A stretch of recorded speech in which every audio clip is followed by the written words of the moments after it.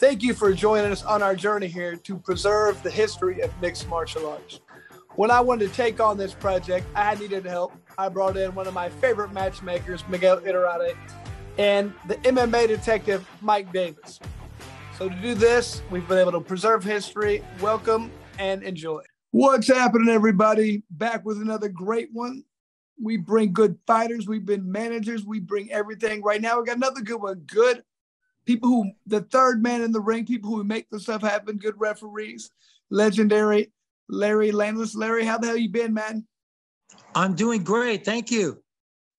Cool, man. Cool. Now, um, hmm. just uh, I know we all got a lot going on here. We've been around the sport for a long time. We've ventured off. I'm doing like a lot of bare knuckle commentary with the BKFC, which I love. Super excited with that. A lot of fun.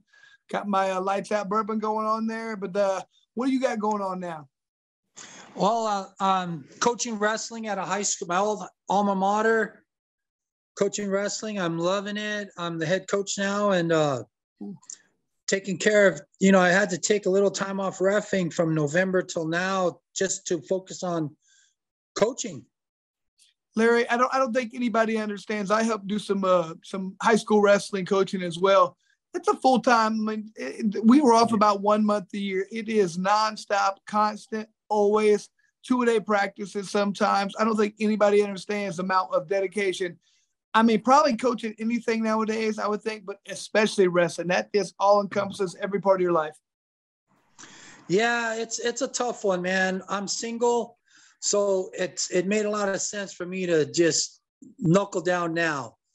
You know, when when you're married, before I was married, and it was very difficult to coach and ref and to uh, all that, you know, run a team. And yeah, that was, that was a rough one. Oh.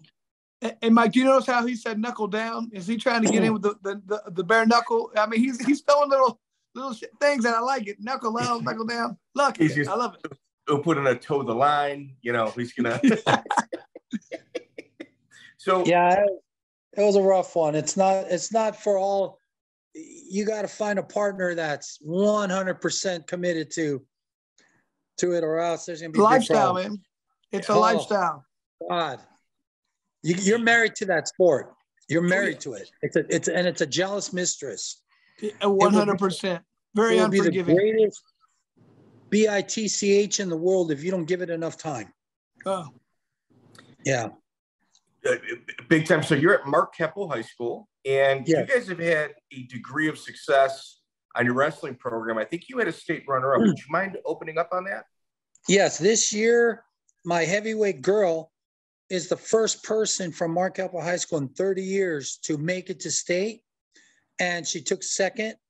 And uh, she she's wonderful. Allie Phillips. She'll be at the Nationals in Virginia Beach this week. The last time was my last year at Keppel 30 years ago. Anthony Valencia won state and then won the high school nationals. So and then you, I left. Will you be out there in Virginia Beach this week? Unfortunately, no. She's going to go with her club team on this one, and uh, I'm going to stay home. I was going to say we got we got bare knuckle in in Norfolk, so if you're going to be around, I was going to have you come on out. Oh, I could have hit two birds with one stone, literally. exactly. so I'm sorry. So uh, in regards to my plugs, uh, I work for Ignite Fights uh, here in Minnesota, Indiana, Illinois, and I'm I'm going to be working for the Anthony Pettis Fighting Championship April 25th on UFC Fight Pass. I'm going to be doing commentary. So Larry Landless, obviously legendary referee. You started in San Gabriel High School was your first gym. Am I correct? Yes. Um, what year? Yes, that was that was my first show. What was your first year? It was your first gym as well, correct? Um, yes, we well actually um my, I had a gym at the boys club. And then um we eventually moved it to the high school because it was just easier. I was working there. And uh, we hosted a uh, a pancrase fight. In fact, Tito Ortiz's first fight was at that show. Stop he had, uh, yeah, and I promised him I'd never show the video because he said he'd sue me, but I, I told him I wouldn't. He didn't have to threaten me. Uh, but uh, Yeah, he fought on my show and uh, he beat my guy pretty badly. And then not too long after that, he fought his first UFC show. Really? Wow. So you do you still have that video? Uh, yes, but I will not. I will not show it unless I have his permission. I promised him, and I always keep my word. Um, I don't know why he won, but you know, he, he, he's a businessman. He wants, you know, I can't just make show it and then make money off it. Um, you know, he's a businessman. I respect it. You know, this is his. You you only got a small window of opportunity to uh, make the most of things. And uh, you know, I, Tito is a good guy. He's always been good to me. I consider him a friend, and um, I love his wife. Amber's awesome. So you know, all but nothing but respect. I would never show it unless he gave me permission. I got a question. When you first watched him fight back then, do you think, man, this guy has something special? Was he just a tough, another tough wrestler who didn't know the sport at the time? He, my guy Jay Martinez is a is a pretty tough guy. He's good in jujitsu. He trains with Erik Paulson full time now, but uh, he was a tough guy, and he was a second in he played second in state in college, junior college. Um, and Tito just handled them. I mean, it was I I didn't expect that. Tito just physically handled them, and um, where was Tito training at at the time? Uh, probably in bars and streets, and he, he was, was, he actually, with, was he with Tank? Yes, he was actually. He's okay. the way I met Tito was through uh, Paul Herrera. Paul Herrera was his high school wrestling coach, and I knew Paul from back in the day, and that's how I met Tank Abbott. So you know, they all got together in Huntington Beach, and uh, Tito was a sparring partner, to my understanding, and then they had a little falling out, and um, you know, Tito kind of went his own way away from Tank. So yeah, I don't like to get into their personal stuff. Tank, Tank cut a couple promos on that before Tito became Tito, and when Tito became Tito, Frank went or Tank even went even harder. But you had mentioned Paul Herrera. We're talking early California mixed martial arts. Paul Herrera and Tito Ortiz did the Hitman Fight Productions. I refed it. Okay. So, Chris, I mean, obviously you know, but the people at home, if they're listening, this was when we've had multiple guests on saying what's found online absolutely did not happen. I won the fight or I lost the fight, but this wasn't the submission of this thing get knocked out. And it was because they had to submit the results ahead of time in order to pretend that they were shooting a movie. Yeah, well, the, the first one they did was out in the desert somewhere. Was that the one you did, or was it at the at his uh in that um arena in that uh, uh, old theater. In the old theater, they had like the police and the commission come. We've had Chelsea oh, no, talk no, about that it. wasn't his show. That was um. Oh, what's his name? He he fought Frank Shamrock in SuperBrawl and John Lober. Okay. John Lober. Yeah, that was the police one. I was there, and they had the undercover camera. And Paul and then uh, John Lober kind of walks out and because they knew they were they were trying to get rid of him, so they put on like a little exhibition, thinking that the camera and they just hit the camera and they ended up filming it. And, T- and Tito beat um oh god um a friend of mine's brother beat him in like pretty easily, quick. and I didn't expect him to fight. In fact, he shouldn't have. He was underweight and but but but they had to pretend that they were shooting a movie in order yes. to pull the event off. All right. Yeah. Walking into this, I mean, you're preparing for a fight. You're preparing your guys to get ready. All right, guys, we got to pretend like we're shooting a movie. Um, I, I mean, it's kind of like there's a lot of hurdles you have to jump in order to make this happen. Those early days was the wild, wild west. When I started the Pancrase thing, I was incorrectly told this is before I was hooked up with any athletic commission. Someone had told me, and they brought me up like a page out of the athletic commission book, something about pro wrestling that you could slap people in the face and strike the body and kick the body as long as you don't strike the face or the head. And we thought, oh, that's cool. You could slap them, but you can't punch them. So we had seen that pancrase from Japan, and we thought, okay, we could do this. Let's do it. And we didn't know any better. God darn, if something would have happened, we would have yeah. been in serious trouble. We had no legal leg to stand on. We didn't even have a doctor at these shows. I mean, it was some guy showed up one time. I remember he was a dentist. Close they enough. Passed, they passed him off as a doctor, and I'm like, there, has been some strange stuff. Hey, you'd probably better off with a dentist there anyway. Teeth getting knocked out instead of a doctor. I mean, close enough. well, but the thing I started to worry about because some of, shows, some of the shows I did were on some Indian reservations, and they like recruited people the night before, or sometimes straight out of the audience. Ooh. No shit. They go to a bar and they recruit who wants to fight each. And I don't like this guy. I'll fight him.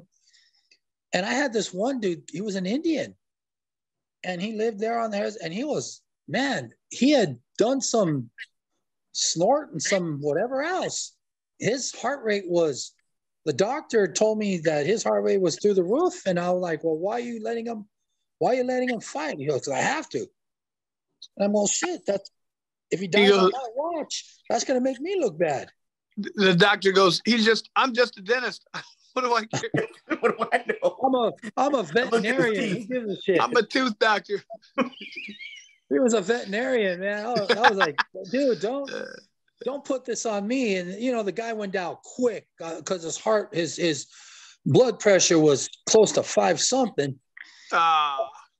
Uh, so he just he, he he was just the bubbles were already showing in when he was looking at his opponent. So he the guy put two on him and he went down. I just stopped it. Yeah.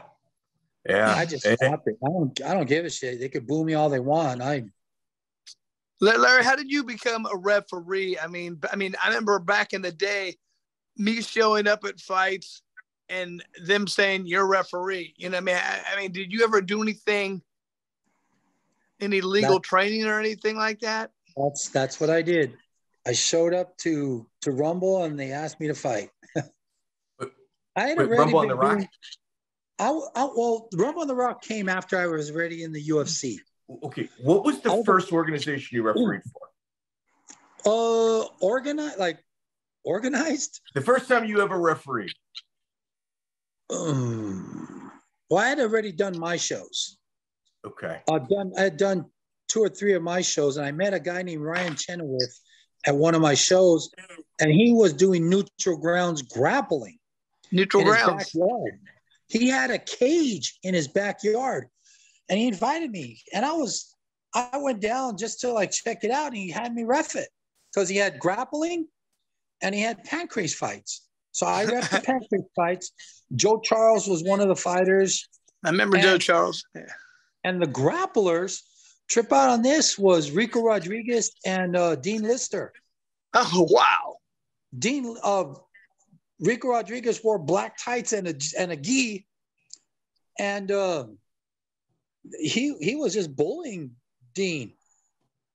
But uh, you know, that's a big size difference. But yeah. you know, also too, Ricco's no he ain't no slouch when it comes to jiu-jitsu. very talented. Very talented. Yeah. So, and it was jiu-jitsu. It was a jiu-jitsu match. Grappling. So I did some pancrase fights and they did in between grappling. And I remember looking in the audience and the Gracies were there and there was some names there there was some people there, uh, Fabiano Iha, and nice. I'm like, and that was all, and it was raining, and he put a big tarp over the cage, and people were just huddled around. He must have had like almost 200 people back there.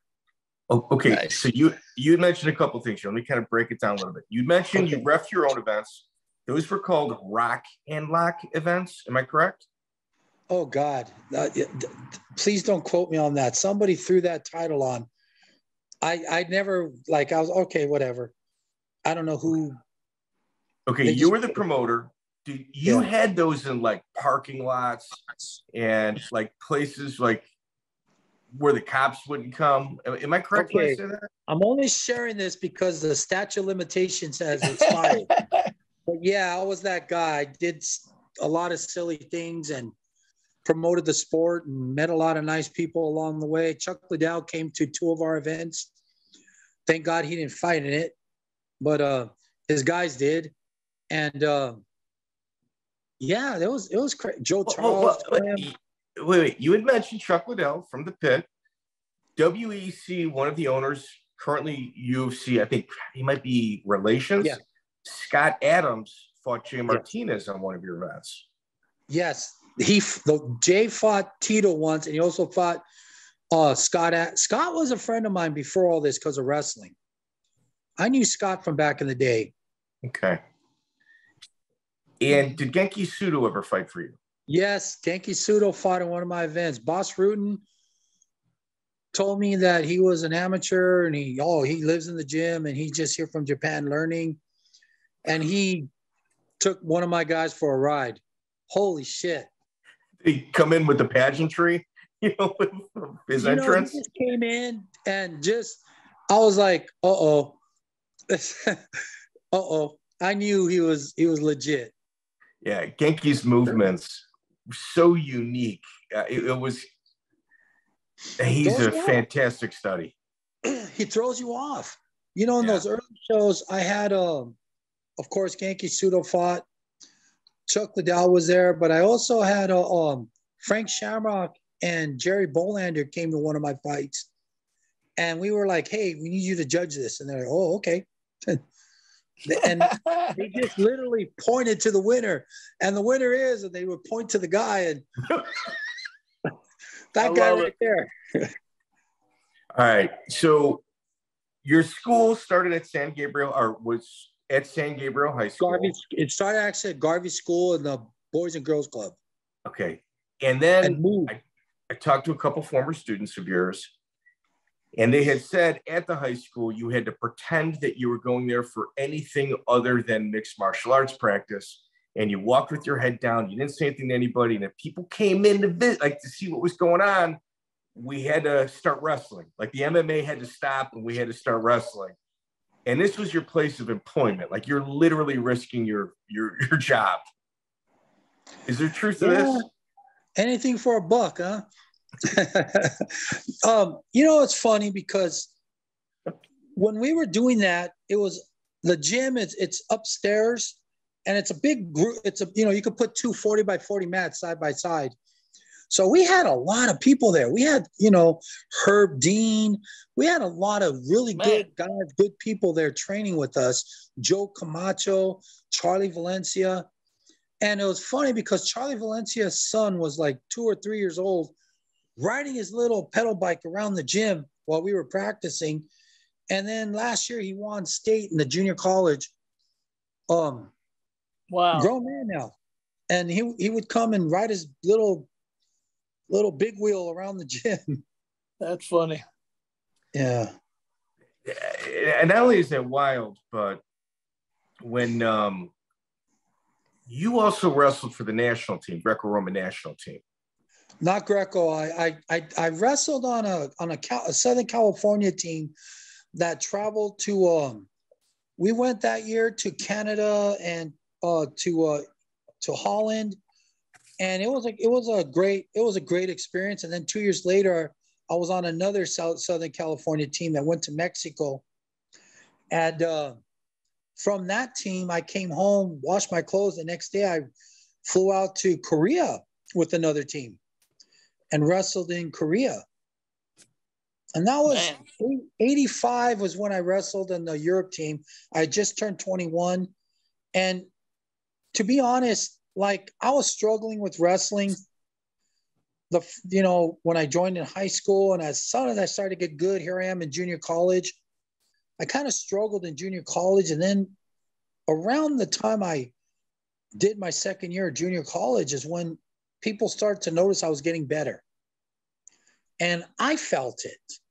I would go to freestyle tournaments and I would place in all the tournaments I went to. And that was unusual. And I was starting to come on, come along. And, you know, so I had good experiences with wrestling. It, it was a, you know, I stuck with it and got better at it. And, and um, it, you know, I, I enjoyed my time. Yeah. Yeah, that's that, that's something you put the time in. You know that that's for sure. So let's go back to refereeing in your roots. Okay. We're gonna fast forward a little bit, talk about Rumble on the Rock. BJ Penn, you refed his fight with uh, on Rumble on the Rock number four against Takanori Gomi. Gomi. So BJ leaves the UFC to pursue greatness, goes to Rumble on the Rock, and and you're the referee. What was well, that like from from your perspective? It, it was great. Uh, BJ and uh, and JD and and the brother RJ and the parents treated me like royalty. Nice. I swear to God, they treated me like gold. They were wonderful hosts, and uh, I had met BJ in the UFC, of course, when he fought um, um, Caol Uno. Kauno it, twice. It was that 13 second knockout. Yeah. And um, and then when I saw him when he fought for the title against uh, Jens Pulver in Connecticut um, for the title, when he, he lost to Jens at that time, that's when his brother told me that they were planning this and they had asked John McCarthy to do it, but um, I guess it the they weren't offering enough money to do it. So it got passed on to me. So I treated it as a, a couple of bucks and a free vacation and and it, it was a great experience, man. I loved it. I refed all those fights, Rumble on the Rock. Okay. Do you think that hurt you roughing that fight? How so? Well, for instance, they go to John McCarthy. He says, no, it's not enough money. There's probably some politics there. Uh, BJ is uh, bumping heads with the UFC, wanting to do his own thing. And they pull you into an event with an investor from Japan obviously the the Penns were kind of the people giving the push. Well, that came later. The, the the thing with Japan came later. That was a K1 fight. Yes. That that was like a co-production. But the the three you the three Rumble on the Rock fights were pure Rumble on the Rock. No no outside investors. In fact, Rich, um, I forget his last name, works for uh, Bellator now. He was one of the he was involved in the Rumble on the Rocks. And um, what what happened was Dana White was at one of the Rumble on the Rocks, and I think it was the one with if, I think it was the one where he fought uh, Rodrigo Gracie, and Gil Castillo fought uh, Verissimo, and Verissimo put it on Gil pretty good, but Dana was there, and I remember talking to Dana, and he was cool with it. You know, no problem. There was no issues. And, uh, you know, he, he made a comment. He thought the show was pretty good, you know, and, but he was actually in the audience. Okay. So BJ Penn beats Matt Hughes and then he tries to fight the best in multiple weight divisions. But that doesn't include the UFC. Actually, that came first. Um, the mo- right. okay, what happened was through goes, Rumble on the Rock, he went to Japan and he right. fought um, at heavyweight. He fought. Uh, Didn't he fight Lyoto Machida? Machida. Yeah, Machida. Yeah. yeah, he fought Machida and he fought. I think he fought Rich Franklin, if I'm not mistaken. Was it Rich uh, Franklin? Or? I think so. Uh, Machida fought Rich Franklin, but BJ Penn did not. Okay. Mach- BJ Penn Machida fought- screwed up Franklin's contract. Like he, they signed Franklin like a slave contract after that. They, you know, the, the thing with BJ was he was, you know, he was fighting. When he fought Rodrigo, he beat him fair and square. When he fought Gomi, he put it on him. It was probably his one of his highlights. And then um, he I fought, fought Renzo. Then he fought I, Renzo. Then he fought Renzo in the K1 and that was there was a little drama with that one. Um, that was a K1 fight, and they wanted me to wear the blue, like the shirt you have on with the bow tie.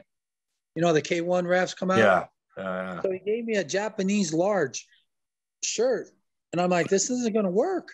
said, oh, you must wear it. And I go, dude, trust me. And I, he says, no, put it on. And like the buttons were coming up, opening up. And I said, check this out. And I kind of flexed my back and it just ripped. I told you. So that the drama actually came with uh, you know, Renzo is just a nice, he was just relaxed, nice guy. He was in the back. I think his brothers were a little more intense. and health. They were a little more, they're kind of scary guys. But Renzo, I'm kind of going over the rules. He's like, yeah, no problem. It's all good. Yeah, I understand. The the question that the Gracie camp had was, was I going to allow it to be like a K1 fight and do a lot of stand-ups? They didn't want that. So when I brought it back to BJ's camp, they were like, no, give them what they want. Don't let us let us settle it. So unbeknownst to the promoter of the K1 fight, he didn't really appreciate me doing that. I let them go. I didn't do stand-ups. I let them go. And um, you know, you have the whole Gracie contingent, Royce Gracie, Rickson, uh, Ryan, Health, Renzo. It's the scariest. We're all there. So I'm like not gonna tell them no. You know, no. like Mike Tyson was in the audience. and BJ was just intense, man. He was just, you know, slapping his face and just he was Renzo was relaxed and BJ was just holy shit, you know, a little scary because BJ just like he tells me he's willing to die and he starts crying. I'm like, whoa, whoa, BJ. So like I, I, the only thing I was worried about was like a, a, a hidden choke, you know, like in the mix, there's a choke in there that I'm not aware of or it's not happening. So I asked BJ, if I do this to your hand, what are you going to do back to me? And he squeezes it. I said, good. So if I do this to your hand, what are you going to do to me? He's, I'll squeeze it back. I go, good, BJ. Now pretend you're me. Squeeze my hand. And he squeezed my hand and I didn't do nothing. He, I said, do it again. And he squeezed it again. I go, now, if you're the ref, what are you going to do? Stop the fight hey, we we understand each other. So we we That's came it. to a, it's fair. Yeah, you know, because uh, this is, uh, you know, at the time it wasn't. I can't say it was sanctioned, other by other than K one. There was, I remember there was two guys came up to me one time. They told me they were with the athletic commission. They were, I could smell they they were on they were smoking a joint. I mean, they were they had pot on them. They were like, good dudes. They were good what, dudes what, working it? for the Olympic Commission. But then two other guys either California or Hawaii. yeah, and then two was Dog the Bounty Hunter there? Uh, you, you know what? He was at one of the fights. Yes, he didn't like it. He did not like it, but his sons loved it. And I kept in contact with them. In fact, I sent them some of my Submission Factory shirts, and in some of the episodes they wore them. I think I remember that. That's why I asked. Yeah. yeah. I'll tell you exactly. The episode where Dog married Beth. The I guess the daughter had died the night before one of the daughters is Ooh. that never came on the TV show. He had a daughter that was never came on the TV show. He had a, he has a whole bunch of kids, and she died in a I believe a car accident the night before. Jesus. So he was talking to his son, the um, Dwayne Jr., the big one, and he's wearing my Submission Factory shirt. And nice. I that second it happened, I was like, holy shit. And next thing you know, my phone went off the hook. Everyone, hey, are you watching Dog the Bounty Hunter? He's got your shirt on. And I was like, yeah, yeah, yeah, I saw it. I remember that. I remember that. So Sadaharu Tanikawa, that's the K1 guy. What was your experience with him as a promoter? Was that the K1 fight? It was. The Rumble okay, on the Rock. That's the owner of the K1, correct? Kind of older yes. gentleman. Yes. He he was okay with me. Uh, there was a little drama. Uh, Alan Goes, before anyone, you know, they were going into the ring to warm up, and as he walked up, he misstepped on the wooden steps, and he fell directly on his rib, and he hit hard. Okay. And he was in obvious pain, but he was going to fight. And I told him, Alan, I, I, you can't fight. And he was, I'm going to fight. And I go, Alan, no. I said, look it, let me touch your rib. And I barely touched him. He was in serious pain. So I told him, I said, hey, we got to pull the fight. And he, he was like, kind of, he wants to fight. Let him fight. I go, no. I think he dislocated his rib. I think he broke it. I saw him fall. He fall with all his body weight on the corner of the steps the wooden steps leading into the ring. He literally like misstep and just if you can imagine just your rib coming on the corner of that step. I swear to God, man, you could ask him. This, this I was like, so he wasn't. I don't know if he thought I was a pussy or something, but I just didn't think it would be right for him to fight under those conditions. So he, right. we, we pulled we pulled that fight, and then I think another fight got pulled that had nothing to do with, and then me leaving him on the ground so they could settle their differences, Renzo and, and BJ. I think he was hoping for more stand-ups, and um, it's one of those things, man. I, I, you know, the integrity of these. You know, I know the history, and I know where Renzo was coming from on this, and BJ was willing to give him what he wanted. BJ wanted to beat beat him at his own game, basically. You know, it was important to both of them. So, so you and Haru loved it. You and Haru didn't see eye to eye. Then is that what you're saying? Um, no, he was cool with me, but I know he wasn't exactly 100 percent happy because of those two things. Other than that, he was fine. How about the people that he surrounded himself with? I didn't really deal with them. The only guy was uh, the the head referee from the K1 at the time, uh, uh, skinnier Japanese guy. He was mad because I was I wasn't going to wear the shirt. okay. And I said, "Dude, it doesn't fit me." He go, "Try it on. It's it's it's extra large." I go, "Yeah, extra large Japan. You got to give me an extra large. You got to give me a large sumo." And uh, he, I, I, I could just tell, you know, when you open a shirt, you know, it's not going to fit you. Yeah. The shirt, it looked just like the shirt you have on right now. Same mm-hmm. color, just had the bow tie. Right. And I, I like, are you kidding? My wrist didn't even, my wrist totally came out of the shirt and I just flexed really hard and it just tore right up the back. right. So yeah, situation settled. All right, dude. I like to eat, you know. One of there's certain instances in MMA where you get to see the true grit of a fighter, really what they're made of. And even in a loss, you walk away with a ton of respect for them. And on January 20th, 2006, you were the referee for Butterbean versus Cabbage. Oh, on Rumble on the Rock. It is one of the most savage fights, and, and it, I, I'll set the table for you in essence, Butterbean said he's training an American top team. Yeah, you know, I know my submissions aren't that good. He's taking me down. He knows he's taking me down. And if he says he's not taking me down, he's a liar. Cabbage responds, I guarantee I don't take him down. You got my word on it. Would you mind telling our audience, because it's unforgettable what took place in that bout? Once again, there was no athletic commission involved in this. So they were given I, I can't remember if it was 30 second ground time like in other words regardless of what was happening on the ground after a certain amount of time it was an automatic stand up and these were special rules not a fixed thing. You know what i mean? Right. It wasn't something that there was a fix on it. They both agreed to this and this they even announced it. I believe bruce buffer was the announcer and he announced it as a special rules uh, fight with, you know, mostly stand up. It wasn't like the Kimbo thing.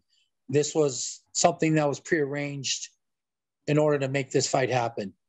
And I let it go. You know, I had, I, we went by it and Butterbean eventually got the worst. And I, you know, it hurt me just to, you know, Cabbage just kind of like put his head on my shoulder. And I'm like, dude, you put your head up, hold your head high. You're, you're a friggin' warrior, dude. So these two are going back and forth, trading like Butterbean. It's unfortunate he gets an un. He, a lot of people kind of like to poke fun at him because of his gimmick. The guy was a friggin' savage, and he could hit really hard. And at one point during the exchanges, Cabbage connects with a heavy right, overhand right.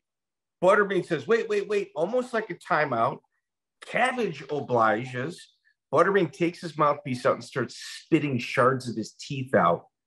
Puts his mouthpiece back in. They touch gloves again, and Butterbean ended up knocking Cabbage out.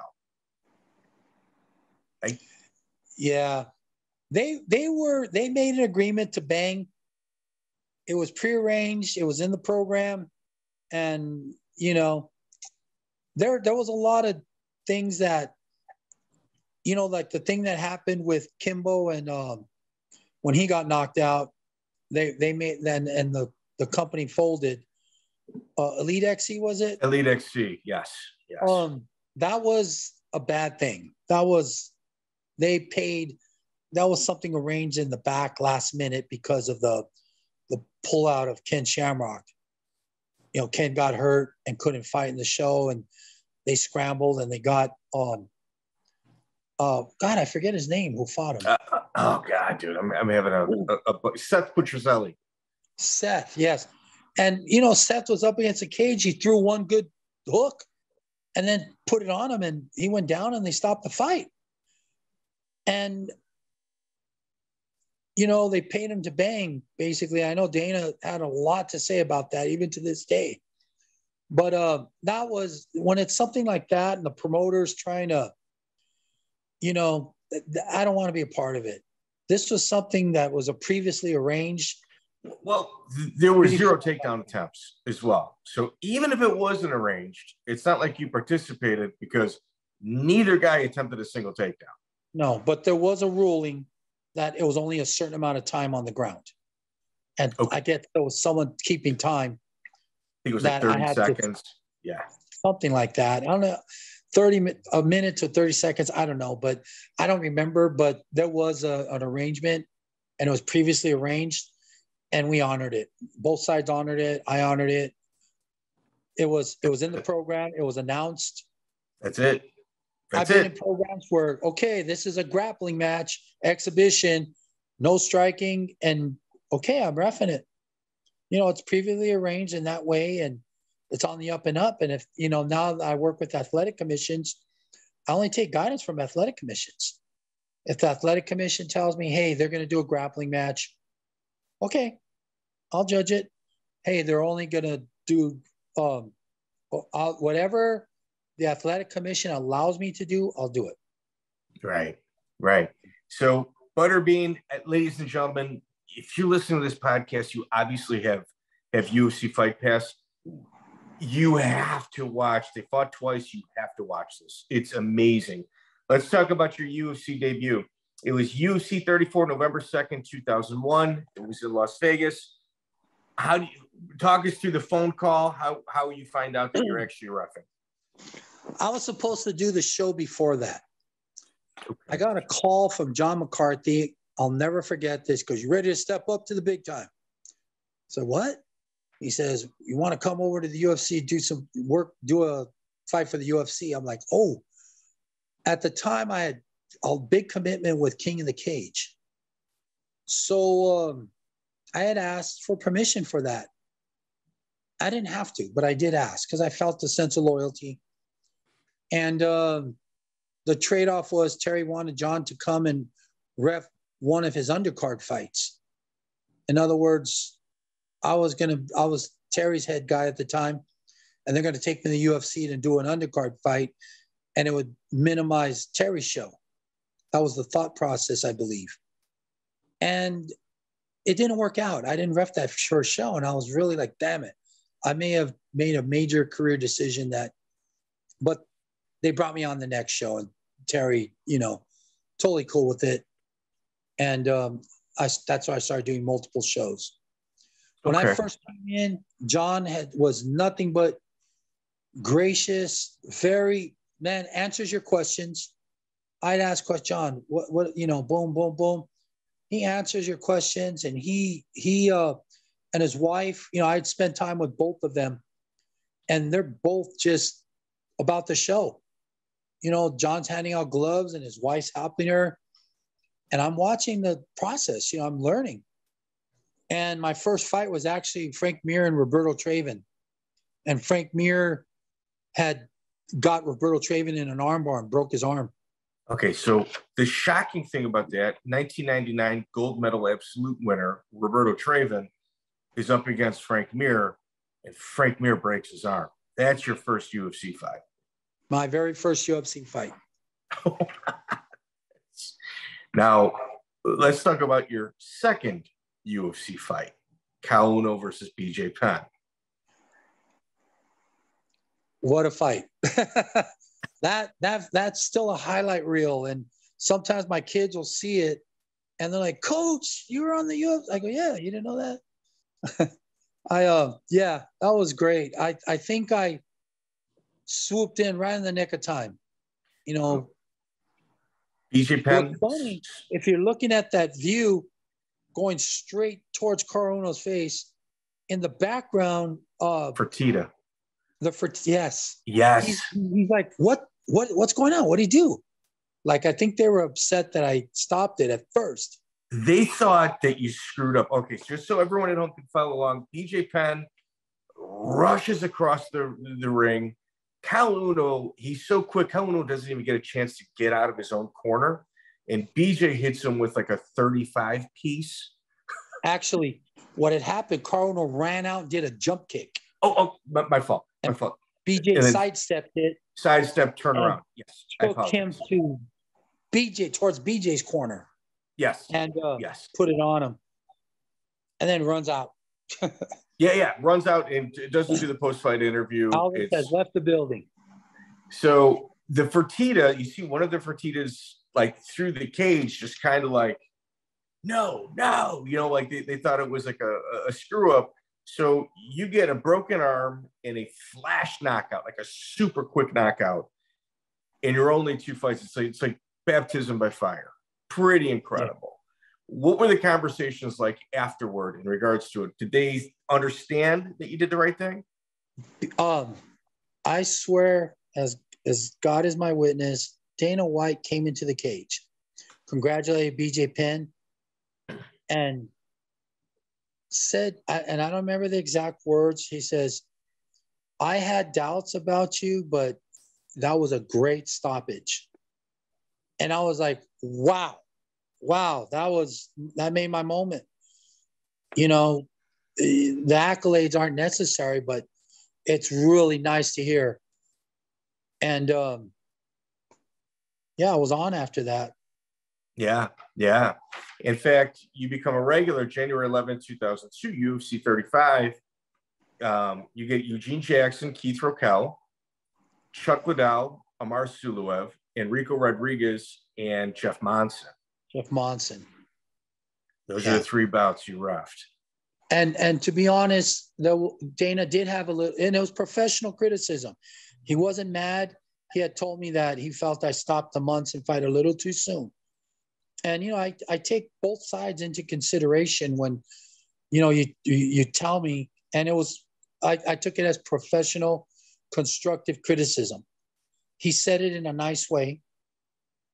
Um and um okay you know i'm kind of gauging the whole thing. You know i had no real training towards this. So um you know now you go through classes herb john they have their classes and there are two, three day classes and you got to take a test. And I didn't have all that. I just got in there and just started judging, roughing. Yeah. Yeah. Yeah. And what about Amar Suluev? Uh, did you have any interactions with him outside of the cage? Um, no. He was kind of cool. There was another guy. There was a Devil team, something Red Devil team. Red Devils, yeah, Russian Red. And there was another guy that fought that night, and he was totally cool with me. And they even gave me a T-shirt. They really? were like, "Hey, you're the referee," and they gave me a T-shirt, and I, and so he was cool. I know he got into some trouble later in life. Oh, Whoa, and, ladies and, and know, gentlemen, Amar Suluev, I fantastic Google search. That's all I'm going to tell you. Fantastic Google search. Yeah. So I, there's been a couple of people where they have some fantastic Google searches. Yeah. I, I remember Jeff Monson as well. Jeff Monson yeah. as well. but I remember, uh, I think it was a second or third fight after that uh, show. He fought uh, Phil Baroni, and he did that illegal knee to Phil Baroni while he was grounded. And uh, I know Phil like kind of like taunted him after because Phil ended up beating him. Well, here we had Phil on you know, before he went to Mexico and is found himself in the legal issues he's in right now. And in that interview, all right, so I'm like, I mean, based on our questions, you can see I'm a little psychotic with the research. So Phil almost gets into a fight in the elevator with Gilbert Yvel. Now, we also had oh. Gilbert Yvel on who confirmed this. At weigh-ins, him and Yvel almost went at it. And it's just like you've got two sticks of dynamite and both have got very, very quick fuses. Somehow they didn't, you know, fight at that moment. And Phil said that the taunting of Suluev was in part due to him almost getting into a fist fight with his corners at weigh-ins. Yeah, I that I I, I heard that.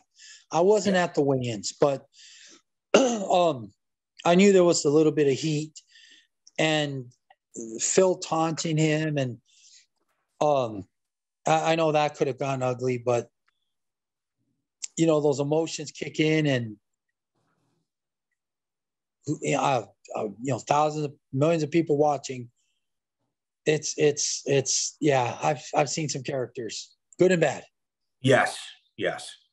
Your next ufc is ufc 36 march 22nd 2002 one of the fights on the card i don't think it gets its due respect you've got matt serra versus kelly dullanty you obviously refereed that oh, kelly dullanty yeah. was frank shamrock's top student and then you've got matt serra in Renzo gracie's top student so yeah. you've got two obvious living legends having their students fight each other. Yeah, you know, thing when things like that come to you know come together, it can get pretty heated as well. Yeah, I, I think Matt is always prepared to fight, and you know he's a good sportsman, but he's you know he's there to fight. He's business. He's not gonna, you know, he's he's he's he brings it. Matt Serra is a is an intense guy, but yeah. outside the cage, I have nothing but love and respect for him. I happened to be in New York. I was a personal trainer, a strength and conditioning coach for a, a boxer that uh, his name was Daniel Ponce de Leon, and he fought uh, Yuriorkis Gamboa in Atlantic City. And okay. I got to that fight was streamed because it was a fight in Russia that we had to wait that had to finish before they showed that fight. And that was a De La Hoya and Arum production.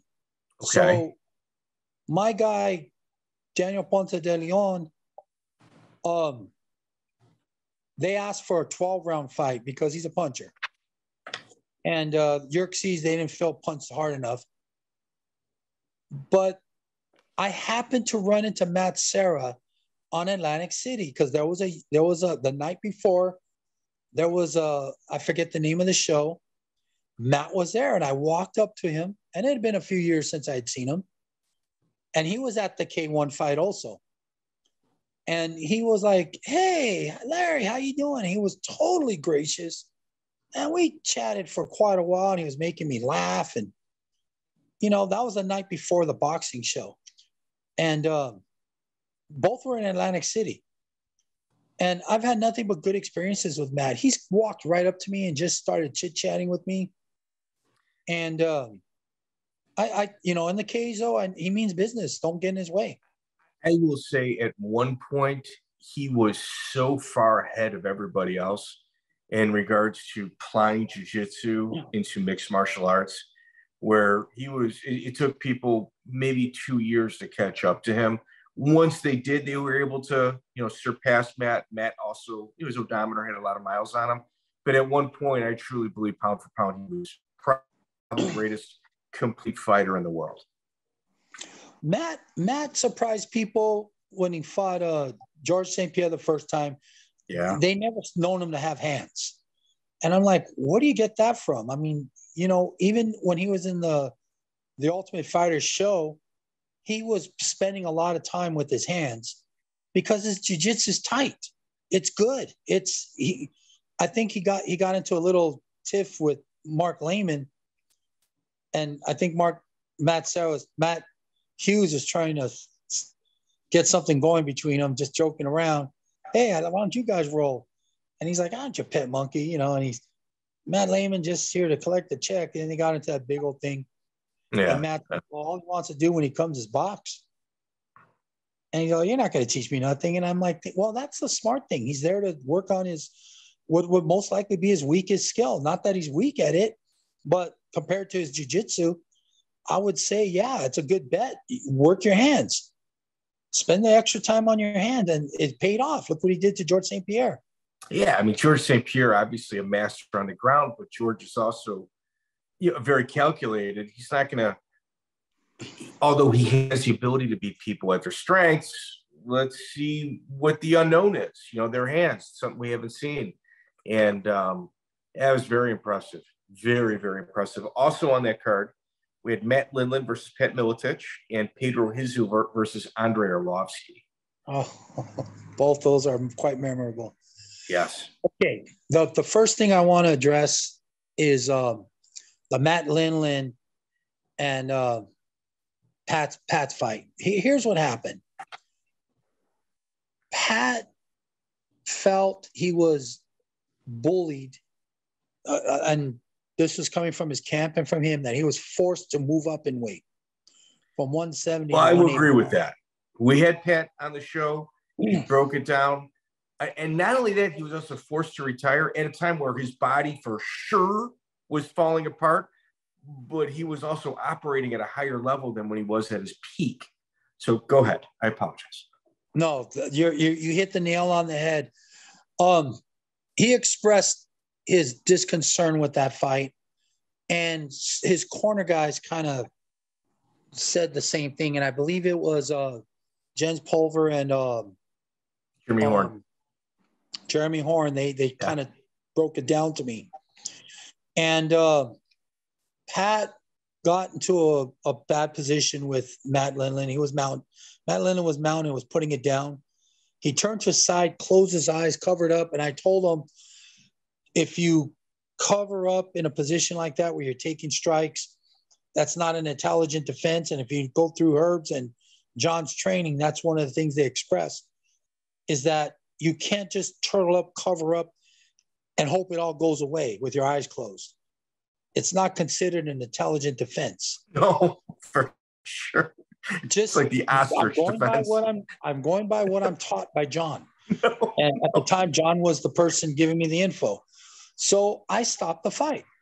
And I know there was a, I forget the guy's name, Hester, the guy who ran the, the grappling magazine. He blasted okay. me. I mean, he even came down and said, I was for shit for stopping that fight. And everybody else said, no, even Jens was like, yeah, you did the right thing. They, weren't happy about it, but they were like, he, he, he, he wasn't getting out of that position. I, I no, watched. Pat even, Pat even told me that.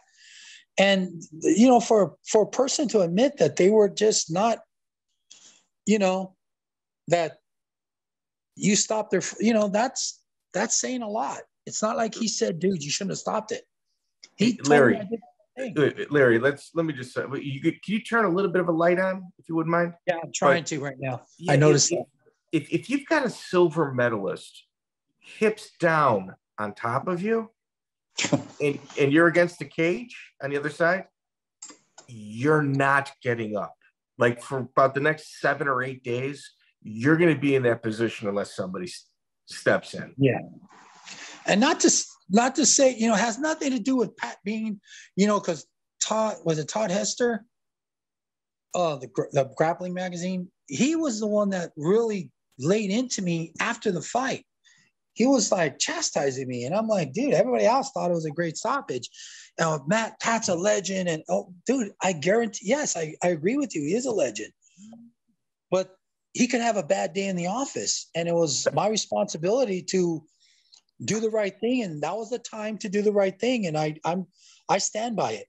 He could he could hate me to this day but i stand by that. All right. So this was in like 2002 and granted the press in 2002 of mixed martial art much more knowledgeable much more competent than the press today by leaps and bounds but you've got a fan you're having an issue with not somebody you know, a fan that happens to be somebody in the press corps. You know, that's that, yeah. that that's it. And then Pedro Rizzo, Andrei Arlovsky. Oh. Pedro, one of my favorite interviews that we've ever done, Pedro Rizzo. He was legend. In my opinion, the most underrated guy who never became the champion. He, wait, uh, wait, wait, stop, stop, Larry. Hold on. I think we've got a bromance happening. Continue, please. Go ahead. Touch the screen. Touch the screen. Come on, touch the screen. Yeah, you're good. Okay. You're good. Yeah. So yeah, you know, and and uh, I actually had a decent relationship with him because he did a seminar for my uh, um my fighters prior to that. So he already knew me. Him and Marco Ruas came and did a seminar for my fighters. So and Frank Shamrock and Guy Metzger had done one. So I used to bring fighters in to do seminars for my guys. And uh, Pedro, wow.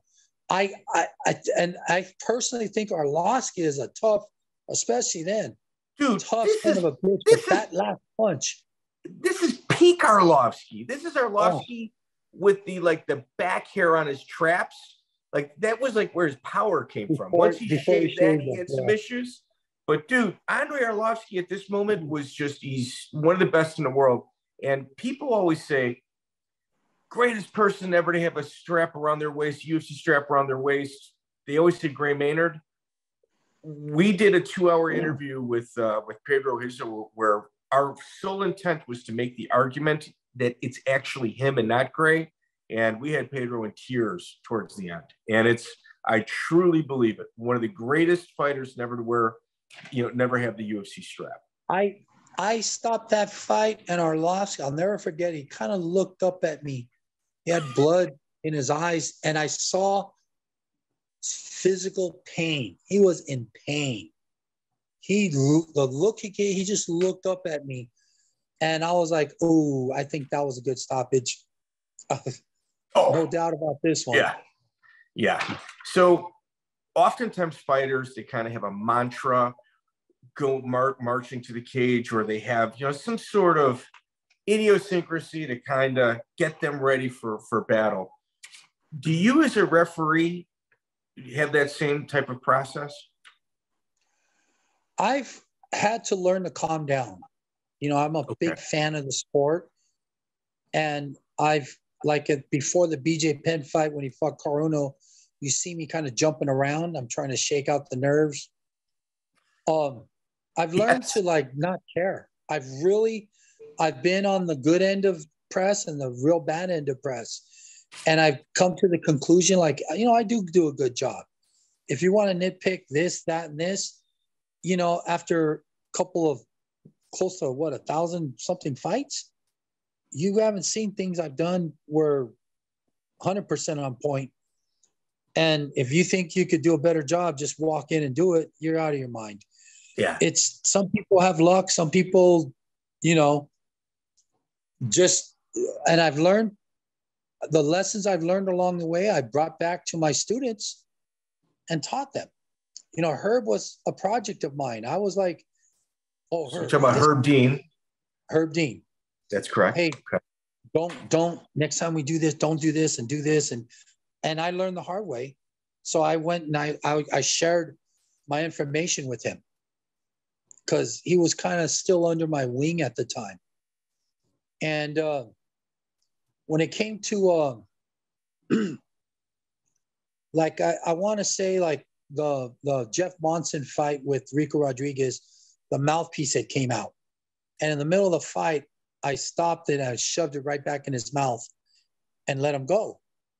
And then in between rounds, once in a while, John McCarthy would kind of call me over to the edge of the cage and say, Hey, you're doing a great job. Keep moving. Or, Hey, you're doing great. How do you feel? This time he calls me over. He looks, he has a scary look. He looks you right in the eye and he, don't you ever, uh, okay, can you see my finger? Cause yeah, yeah, yeah. Don't you ever. That's exactly how it looked. Don't you ever pick up a mouthpiece off the floor and shove it in someone's mouth. And he told me the process. And I was like, shit, that's the first time anyone ever told me that. I didn't know. So when I got home, I was like, hey, Herb, next time a mouthpiece comes out of the mouth, make sure you take it. You know, I told him what the procedure was. Got to learn, live and learn. Monson would do that as a stall tactic. Probably. I, am not accusing him of nothing. Yeah. So you did. Yeah, that's, that's, that's on you yeah, yeah, that's that. Um, from there, obviously, you're rolling UFC 37, May 10th, 2002. A fight that I, I believe belongs in the UFC Hall of Fame is what you open with, and that's Robbie Lawler versus Aaron Riley. Oh, yeah. That was in Louisiana. Yeah. Yeah. Now, Kelly Delaney, right? Dullanty. Delunt, Kelly I think it's Kelly Delaney. Is it Delaney? Okay. Dude, I'm, I'm from the South Side, you know? he had lost a fight to um, Duane Ludwig just prior to that in King of the Cage. And um, Robbie was a person that I had kind of seen in the background at these shows with with Pat Miletich and you know, of course I seen him on the the the best damn sports show 37 and a half. But um Robbie was a guy, you know, he's a good shape, looked good. And man, he just his name just he just got out there on that show. You know, he showed who he was. Who he was. He bullied him. Aaron Riley's ability to take a punch. Aaron Riley. Yes, you're right. Aaron Riley. Aaron Riley's ability to take a punch in that fight was shocking. And the undercard fight absolutely stole the show that night. Like it was yeah. a, rock'em sock'em with a guy like getting stunned repeatedly. Aaron Riley is if you yeah. look at his independent grind career, it is Hall of Fame worthy based on the opponents he fought, Steve Berger as well. But it was two guys that probably should have met in hook and shoot. Joe Silva stole the fight over there. Fantastic one. Um, on top of that, you also refereed Caol Uno versus Yves Edwards and Eve BJ Penn and Paul Creighton. Paul was from uh, Renzo Gracie School. Yes. He does. He's a jiu-jitsu god of Renzo Gracie's. And um, I had uh, when I ref that fight, BJ won and and and um, Matt Serra told me I did a great job. He said, Hey, you did a great job, man. That was great refing. And I was like, wow, thank you. Um yeah, BJ was starting to, you know, he had lost that fight to Jens. Now he was on his revenge tour and I think he, you know, worked out some of the bugs and was just on a rampage at that point. Yeah, yeah, he was. BJ, um, if you look at his record, it's just not very telling with what type of athlete he is. And um, pound for pound, one of the probably the top 10 greatest fighters ever to live. BJ, uh, I know, like, if when you see the shows when he's training and uh, the um, he had some issues with training. It seemed, you know, he didn't want to put in enough work, or sometimes he'd work too hard. And um, I don't know exactly what it was. You know, as a professional referee, um, he he um you could look back and say, oh, you should have done this, you should have done that. Well, he was there doing it. And what's going on in your mind is, you know, totally different than what we see on TV. Yeah. Yeah. And and like I think BJ was really in his best shape when he was training with uh Mark uh Marv Marinovich. Marinovich. So Mark Marinovich. Marv. Marv Marinovich. Uh kind of his son played you know professional football, kind of crapped out, but but his training and like his I, I guess understanding of the human body was it was a much different approach than everybody else. And I can't remember who we talked to. We had an interview with somebody that trained with him, and they said that they still use his techniques today, and he was way ahead of his time. Yes, I I kind of I worked with his ex-wife we have another son, Michael, and he played for he played football for Syracuse. And I worked with his wife, Jan Crawford. She was a dance instructor, and Marv Marinovich was a coach at USC, and she was a freshman. And she has like a kind of long, lanky body. And he looked at her and said, "The two of us will make the most perfect child." And like, and he was already, I think, in his late twenties, early thirties and he just pursued her. Like by today's standards, he would have been arrested for stalking. but it Canceled. worked. is the she term you're looking for. And they had a kid. And he would take the diaper off the kid, take him in the yard and roll him around in the grass, stretch him out, his hemis. And and this is a, a newborn. This is the story she would tell me. She that he was that obsessed. When he got his grandchild, he started stretch, you know, newborn grandchild stretching out their hemis and the groin and the crotch, you know, but doing it properly. And that's Marv. Marv had a thing like I talked to him a couple of times because of Jan. You know, I had that connection working with his wife, and he said that the the the range of motion in your hip flexors, your quads, and your hemis are the most important thing. And he puts you through a test.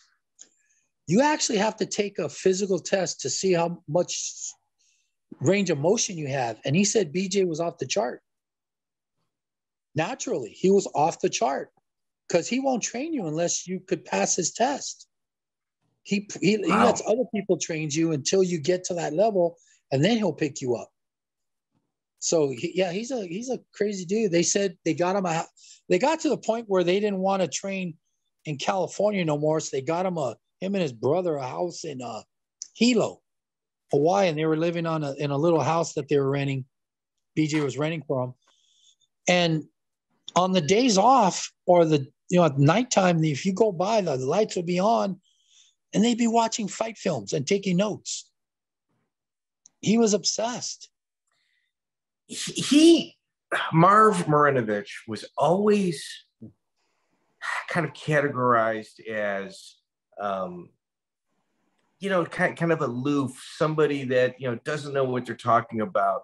You know like in today's day and age he'd be considered like a conspiracy theorist even though like every single thing he's talking about is not only proven to have worked but it's effective and like the people that were hating on him were other personal trainers or physical trainers that got degrees.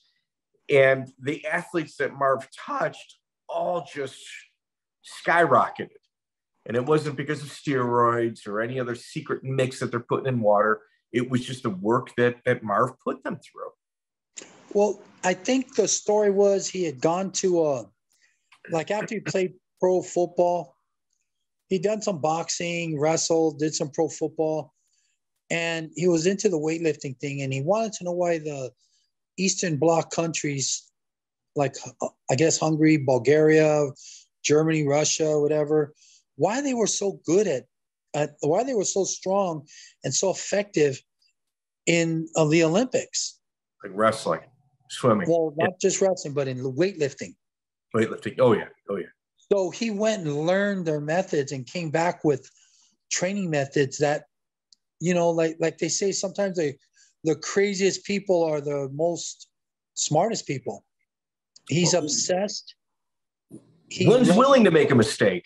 The the best scientists are the ones that don't play it safe. The ones that make mistakes. They have errors, but they take risks that a lot of pe- other people wouldn't do. Like you can't be a, a good scientist and have extraordinary outcomes. To be a great scientist, you've got to take risks. And it's the same mm. everywhere. At refereeing, MMA, it's everywhere. And and yeah. the thing he would say about the range of motion into the hip flexors and the hemis and the quads and all that stuff, you watch a person do lifts like just say you're doing a like a difficult one, like an overhead squat. I watch my athletes and they could barely break knees butt level. The really good ones can get almost with a touching touching the floor, and their heels are their feet are flat on the ground. Other people they're like leaning forward and they get that extra stretch. You're not working the highest percentage of your muscles. You're not working the full range, and therefore you're not developing the way you should be developing. So that flexibility and all that, there's a lot to be said there. And he's a yeah. he made a believer out of me. Oh Brilliant God, mind. he made a believer out of me. Brilliant mind. Uh, that main event featured Murilo Bustamante versus Matt Lindland. We have the fake tap. Although you weren't refereeing, what was the conversations like backstage that night? I'm sure they were a little heated. Uh, it depends on who you talk to.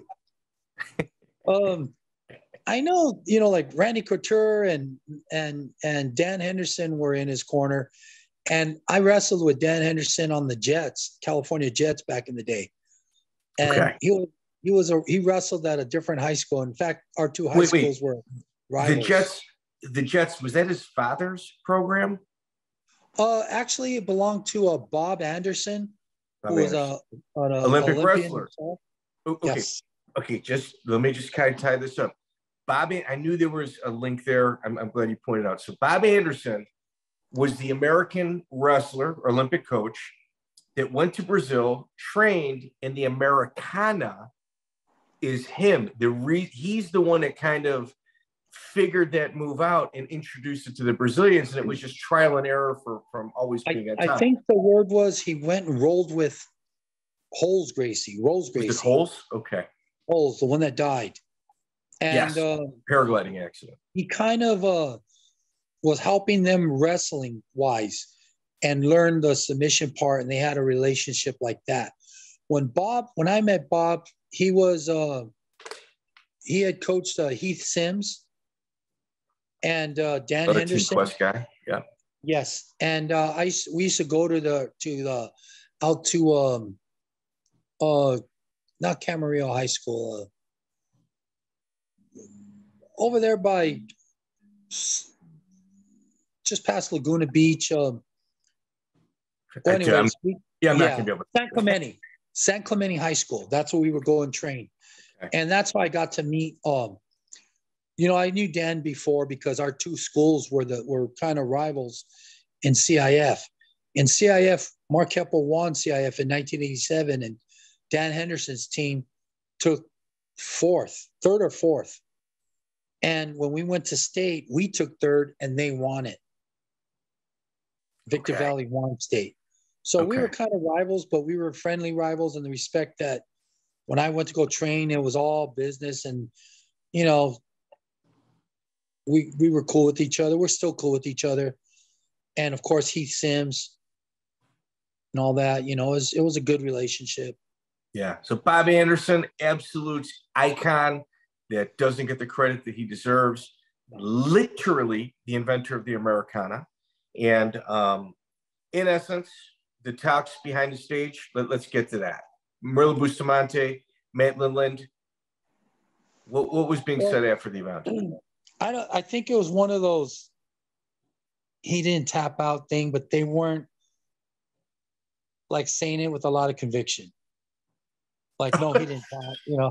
I think they were like not giving you eye contact. Uh, you know, they're kind of not a lot not of. Giving you eye, not you know, when somebody tells you they don't tap, they're like, I didn't freaking fucking tap, ah, you know, but they were kind of, that's the way I kind of took it. And okay. I've always had good conversations with Matt Lindland. It from where from where I was sitting, I'm like, did he tap? And I was like, did he? And John was upset. John had to restart it, and and Murilo was upset with John, and I I there was no other way around it. You know, either you're going to stand by that call and just shove it down everyone's throats and say, you know what, you tapped, I stopped it, or you know, I think now live and learn. You know. Oh, oh. Okay, what would happen today? Do you think they'd restart it again, or do you think you'd no, shove it I down think they, I, I, I, it's hard to say. That's a question you might want to say to John, because he was the one that was over that situation. Me personally, I've been in a kind of similar situation. I'm like, nope, you tapped. Yes. Or you cried out in pain. Or because crying out in pain, like if you scream out while they got a submission on you, that's a stoppage. Yeah. And we tell people that in the rules meeting. And um, not responding to things like chokes, you know, hey, you're out. And then can, can I further the, let me just kind of anybody listens to the show, it's usually like we get a person and they listen to all our interviews. So I'm going to kind of repeat something here. Big John McCarthy and Team Quest, Team Quest, they ran a lot of game on John. And it, it comes back to like Pedro Rizzo, Randy Couture one. Pedro Rizzo's about to finish uh, Randy Couture, about to finish him. Big John stops it so the referee or so the doctor could check out the cuts while Rizzo is about to finish, stops the actual action. While the, the, the doctor's checking the cut, Dan Henderson sneaks in and is talking to Randy underneath and draws Randy down, buying more time because the doctors got to repeatedly ask to see the cuts, at which time they should have just called the fight. But it gives Randy like an extra minute and advice from his corner that's underneath them. And then that Randy is, gets Randy gets a takedown. That is not the first time Dan Henderson did that. I got caught in that one with Dan Henderson. They're not allowed in the cage during doctor time. Right. I learned a mean lesson when when Evan Tanner fought Phil Baroni. I stopped it to also look at a cut. Yes. And uh, Dan had came into the cage. I didn't let him in, but he came into the cage, and I should have chased him out. Um, you are not allowed in the cage. I didn't open the cage; someone okay. else did. But okay. that, but I don't want to say ca- it's a tactic, but right. it should have been stopped. All right. So, Larry, we're building to that, and we're gonna we're gonna we're gonna get to it, but we're, we're gonna address this now. I'm sure. In essence, I just told you the head referee. You get a lot of shit for this, and you've done a couple thousand fights. You're gonna have moments where you really shine, and you're gonna have a very very slim amount of moments where you know there, there maybe you just didn't have a good day, but the first time I ever saw somebody full mouth getting pounded on, stop, let a doctor take a look at him rather than stopping the fight was Big John McCarthy. So the people that kind of say the same thing, because in, in the Phil Baroni Evan Tanner fight that you did, at the end of one of the rounds, I think, man, from memory, maybe round two, first round, it, it was in the first round. You stop the fight to have the doctor because that was protocol and then you start them back on their feet. And it's not as if you made this rule up. All you did was follow what it is that was set in front of you. Yeah. It's like you're I, hostage I, to the rule book. I take I take full responsibility for what I did. Yeah, I watch John and things and try and mimic because he's the best, but at that time, I didn't say, oh, John stopped this fight because of this, so I better stop it and check this cut. I took it upon myself to check that cut.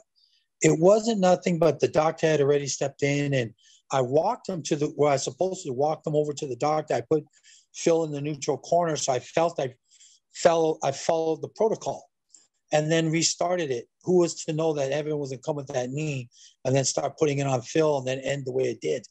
Um, I take 100% responsibility okay. for my, well, my here, situation. Here's, here's the difference between you and other referees.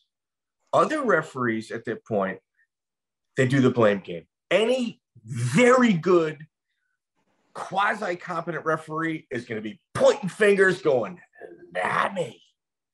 You, however, said, wait a minute, wait a minute, because Phil pushed you and took a suspension for pushing you at the end of that. He punched but, me he punched you. Okay. But the difference between you and a different referee is you went to Phil's defense. You publicly stated that it, let's talk about this. Like rather than just kind of hide and oh, I'm a victim, you didn't play the victim card at all. All you said was, I'm willing to have a conversation about this. Phil isn't entirely wrong. And do you know what came about in regards to that? A rule change, which is what was needed. What I do now, and I make sure I'm clear about this, is do not communicate with the referee in the middle of the fight because, and I'm not putting nothing on Phil for the situation. He he was a lot of people don't know he was very sick prior to that fight. He had um I don't want to say like a walking ammonia or something, but it was a congestion. He was pretty. He was in rough shape. And remember, he had torn his pec muscle just a few months before. And um, he, there was a lot of pressure for him to be in this fight. It was his first fight back when he after he tore his pec muscle, and he was sick. I knew he was sick. When the situation happened, when he was mounted, I was like, okay, you know, wow, the, the you know, and Phil was yelling something at me, and I couldn't hear a single word he was saying. It was loud, and um, you got a mouthpiece in your mouth. You're getting punched at the same time. I, I tell people, you may be telling me clearly, don't stop the fight. I'm fine, but with all the sound in the place, with you getting punched and a mouthpiece in your mouth, it sounds like holy shit, get me out of here. so I I asked him, You want out? That's when I started dialogue. And I was like, You want out? And he it was like uh okay, okay. Like I don't hear the M part of it. I just hear okay, okay. It was okay, I'm okay, I'm okay, I'm okay. And then I said, You want out? You want out? So I was like, Holy shit. And he said, Yeah, yeah. And it was a total misunderstanding. I have to take the blame with that because he's trying to protect his career. I, and I, I do because I wish I wouldn't have carried on with dialogue. His body language would have told me he was done. He was covering up. If his head was being bounced off the canvas and his eyes were rolling back, and those are my indicators to stop the fight. The verbal part, I wish I never would have engaged in it. I, I oh, actually, I wish I never would have stopped the fight on the cut. Just let it play through because it was it there was an insignificant cut, but I couldn't tell from my angle, and I thought I was doing the right thing. But but, but protocol at that time had you do the right thing. Yeah, like like like Duane Ludwig versus uh, Genki Sudo.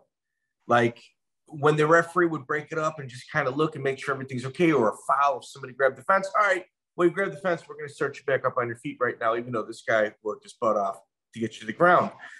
there is a learning curve where things kind of get straightened out. The reason I gave that big John McCarthy example earlier was partly due, in fact, because that's what you were dealing with. It's you're not the only one. There was a couple of situations or incidents where this takes place. And all right, is it your fault? Yeah. But what kind of percentage is it your fault? It's not a high one. It, I appreciate that, but well, I, that's just the truth. I and thank you. I really do appreciate that, but I have to be critical of myself in order to get better. I have to look at the mistakes and evaluate it and and were were there other options? Should I have done it this way, this way, this way? And absolutely, I wish I never would have engaged in a conversation with Phil Baroni. That was, um, like I say, his body language, his um, his eyes rolling back, things like that. Had that happened, those would have been my toolbox indications to stop the fight. The things in my toolbox to utilize to stop the fight. I I literally with just a few seconds left, I I stopped the fight, and I was like, oh shit. At that moment, I I was like, I knew I it was a, I, I knew I was in for it. I was like, ah, okay. Now, now let me ask you, Larry, and and I'm not going to name any names here, but after this, you take it's after that and After that fight, you do UFC 46, where you've got Josh Thomson, Hermes Franca. And yeah. one of the errors that referees do, including recently Herb Dean, is sometimes rather than like stop a fight, they'll, they'll touch the fighter. And oftentimes they'll see somebody kind of recovering and then they back off. And the fight either continues, it can change. You know, it's, it's kind of like a, you know, it's like a wave. A wave will come in and then kind of go out. And um, after that, you, you you got some criticism as well. But do you think there was people working really hard behind the scenes in order to kind of make sure that your job with the UFC was coming to an end? Um, not from the UFC itself, and not from the the, the Nevada State Athletic Commission um, I think a lot of like like websites, um, there there I read stuff I'm like, that didn't happen. That didn't happen that way. And I wasn't thinking that. And why why are people coming up with these conclusions on my actions when it was kind of innocent, you know, like as a as a basketball ref, you bump into players sometimes. Keep playing. A football, you knock over referees. Keep playing. Um, you you could only physically, you know, I'm trying to get a better angle on things, and I touch somebody, keep fighting. You know, keep fighting, keep going. I'm not. Even though I touch you and you kind of stop for a second, it it didn't take up enough time to change the outcome of that fight. You know, you you were I, I even said it, keep going, keep going, you know, and you keep going. We're there is a chance we're gonna run into each other. There is a chance we're gonna brush against each other or bump into each other, or I might end up to be too close where you're thinking I'm gonna stop it. Your job, and I like what uh Masvidal says when somebody asked him were those last punches necessary when he knocked out um, Ben Askren. Uh, ben Askren. And he says, they're absolutely necessary. My job's to keep hitting until they stop me. And I'm like, I'm like, as a referee, you're into sportsmanship and stuff, but that's actually the best way to go. You're there to fight, fight until we stop you. We'll we'll we'll do our job. Some people can do that knockout and walk away type of knockout. You know, other people are like when he hits the ground, like Dan Henderson, they'll jump in the air, drop that hammer bomb. Um, you know, that's you gotta, you know, you gotta protect your career and do what you gotta do to, you know, because in in those instances where you don't do it and the guy comes back to life and the fight hasn't been stopped and then you're gonna regret it, you know, just just you do your job i'll do my job. And when i do physically pull you off i'd appreciate if you allow me to do my job and not continue. I brush up against you and you kind of look at me I keep fighting keep fighting keep fighting right let me just throw this out there if you need me to edit this i will but there was a fight on that card between tim sylvia and uh, Cabbage, correct? And that was um not the Hermes Franca fight. No, that, no, that was, in, one before. That was one before. That was in the no, that was a couple of fights before. That was actually the same fight where Phil Baroni knocked out Dave Menne. Yes. And okay. it was uh, the guy from NAGA who ref that Kip fight. Kollar. Kip Kollar. So Kip Kollar got a lot of flack because they said that he didn't stop that fight soon enough. And uh, publicly, he threw you under the bus, saying, Well, if they're going to get rid of me, they got to get rid of Larry Landless. He, he kind of put other people's names in their mouth as well. Do you think that may have also been one of the contributing factors? Like you, you mentioned websites and stuff like that. Kip was also very involved with mixedmartialarts.com yeah. at that time. Um, do you think there was almost kind of like a campaign to kind of start fires elsewhere in order to kind of clear him? I I think very highly of Kip as a person. He he runs the NAG organization, does a great job. Great job. Um, what happened with him and the UFC, I have not I have no I had nothing to do with that. Okay. Their feelings on the matter was their feelings. Um, I felt a little indifferent. I felt, well, you're in there, you see something I don't see.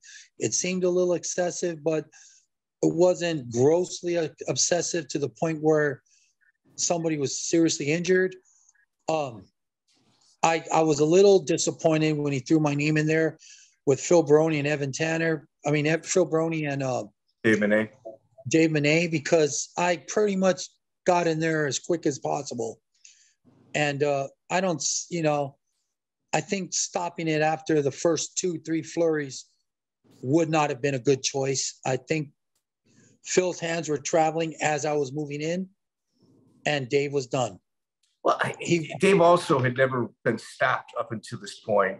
Was a former yeah. champion, and I mean, you hate to say there's there's two different rules for people, but a guy like Dave Menne, who's a proven survivor, you kind of you kind of got to give him the benefit of the doubt until you can't. I I don't like to critique referees, mostly because of things like that. It sounds like it comes across to me as people trying to uh, assassin lower the bar so that they can clear it You know, be in the same, you know, I was in a good position with the UFC. And actually they they were I know they were I knew they were upset with Kip at the time, which I had absolutely nothing to do with. I had no say. In fact, I had no um, opinion on it when it was being discussed. It was just something said in the wind, and I I didn't I was like, oh okay, well you know I, that's not my business. Um, I I feel there's been other people that have tried to assassinate me, character wise, for things that I see it on the internet. I used to watch that all the time. I try not to watch it no more, but there'd be sites where people would kind of start up things and there'd be defenses for me and then there'd be the other things and and it was like the the the, the point of origin where people there were some people that were trying to get into this business and i started to spot them because herb was the first guy i brought in and the way it worked out with herb was i i was doing 20 something fights in a night and herb was just checking the wraps in the background You're talking at King of the Cage. King of the Cage. And I told Terry, I said, I can't do that many fights, and Wait, I wait. shouldn't. You, but let me just kind of tie up my end. If there's a Jiu-Jitsu Hall of Fame here, Kip Kollar absolutely is a first ballot Hall of Famer. That, that's my feelings on it. He had a bad night, threw somebody under the bus, probably not one of his best moments. But at the end of the day, he's provided a ton of amazing opportunities for a lot of people. I So- agree, and I, have a lot of respect for him. I just, so I just- don't I want was disappointed when my name came up. Like, wow, I, I just don't want people to get kind of confused to where I'm kind of gunning. Absolutely not. Th- those are my true feelings. So so go ahead. In regards to King of the Cage, Herb Dean, you bring him in as a referee. And that was the second King of the Cage fight, and um, Terry was reluctant, and he says, well, he could do the undercard fights, and he did stuff. Did and Herb never complained. And then as time went on, I would give him a couple more fights, and then other people started jumping on board. And not to mention names, but there were these some guys who just kind of came on, and they were quick, fast talkers. So I started to divide the fights up, and I said, okay, Herb's my Herb's proven himself, so I gave him an equal amount of fights. And one guy told me one time, he goes, "Hey, can you give me a a a, a television fight?" I go, "What?" He goes, "I need a television fight." So you know, people. I I said I never heard anybody. You know, when I went to the UFC, they gave me my assignments, and I just took them. I didn't say, "Hey, oh, can I have this guy, or can I have the, the finals, or can I have the main event? Can I have the co-main event?" I never, ever, ever called a commissioner. There's been people that have called commissioners that, like, they're they talk to them two, three weeks in advance, and hey, buddy, how's it going? And this has happened with past commissioners and stuff, and a lot of uh, networking. I've never did that. I've never, when I even do a show like an Indian reservation show, or when I went to Hawaii after the third Rumble on the Rock show, um, Rude Boy was one of the uh, referees, and he was making the assignments, and I was like the main ref, and I'm ah, yeah, that'll make that cool. He wanted to ref the Anderson Silva fight against the Japanese guy, the disqualification fight, and I'm like, yeah, cool, yeah, cool, do it. You know, it never bothered me not having been in the limelight or there was a time where I was kind of enjoying the, the limelight. And then I, after thinking things through in my career, I thought, you know what? I don't, I just want to work. Yeah. I don't want to, I don't want to, I just want to work. I just want to just, I know I have a lot to offer the sport. I know like when I go to these amateur shows, the, the um, camel shows in California, I'm, I'm a leader and they look to me for leadership. I, I talk to the other refs and, you know, I try and teach them and critique them in a way that, that they don't regret. In fact, in all the years I was doing the camel shows, I had to write one guy up because he was just completely horrible. And John McCarthy is the one that told me this. When we used to write these evaluations on the referees, there's a scale of one to one to five, five being best, and I and then you add up the score. And I'd always give great scores. Appearance, okay, you're a five, and you did a good job with mechanics. I'll give you a five. And so I, I was giving a couple guys perfect scores. And John looked at me, says, There's absolutely nothing, there's absolutely no such thing as a perfect score when they're training. They have to learn something. You got to leave them something. It's true. And I was like, whoa, whoa, that was some good training on your part teaching me because I've used that as, and I try and do it as constructive criticism. I, will say, well, it's hey, just to work on. You got to work on something. You know, you're never perfect, not not in that level. And I let them know. I've, you know, like, um, um, a good ref who goes unnoticed and he judges a lot of fights is Mike Bell. He judges okay. a lot of fights in the UFC and Bellator, and he's a good ref. But when I was doing his evaluations, I was giving him good evaluations, but I'd leave something out and I'd give him a little something. And the truth was, it was it was better than the critique. But I just left it as a way of, you know, pushing them. Yeah, goals. Yeah, goals. Let me ask you about July 19th, 2002, UFC 38. They're in London. Um, you get Evan oh. Tanner versus Chris Haseman. Chris Haseman, an obvious pioneer and legend from Australia, Evan Tanner, who, who passed. Um, you also had Philip Miller versus James Zikic, Mark Weir versus Eugene Jackson as well. You were pretty busy that night. Yeah.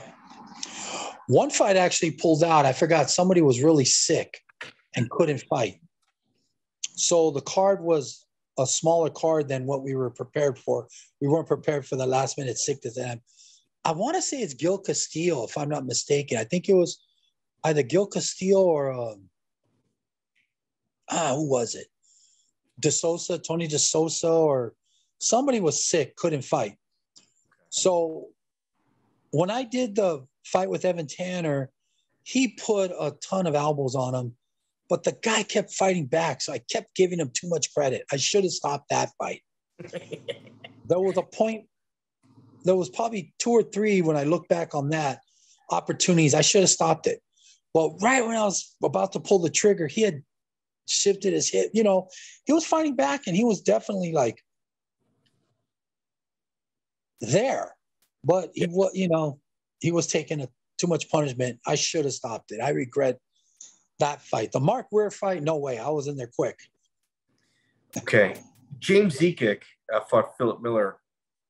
Um, James Zikic has got kind of a big reputation, like Mark Epstein, Lee Murray, uh, Joe Boughton.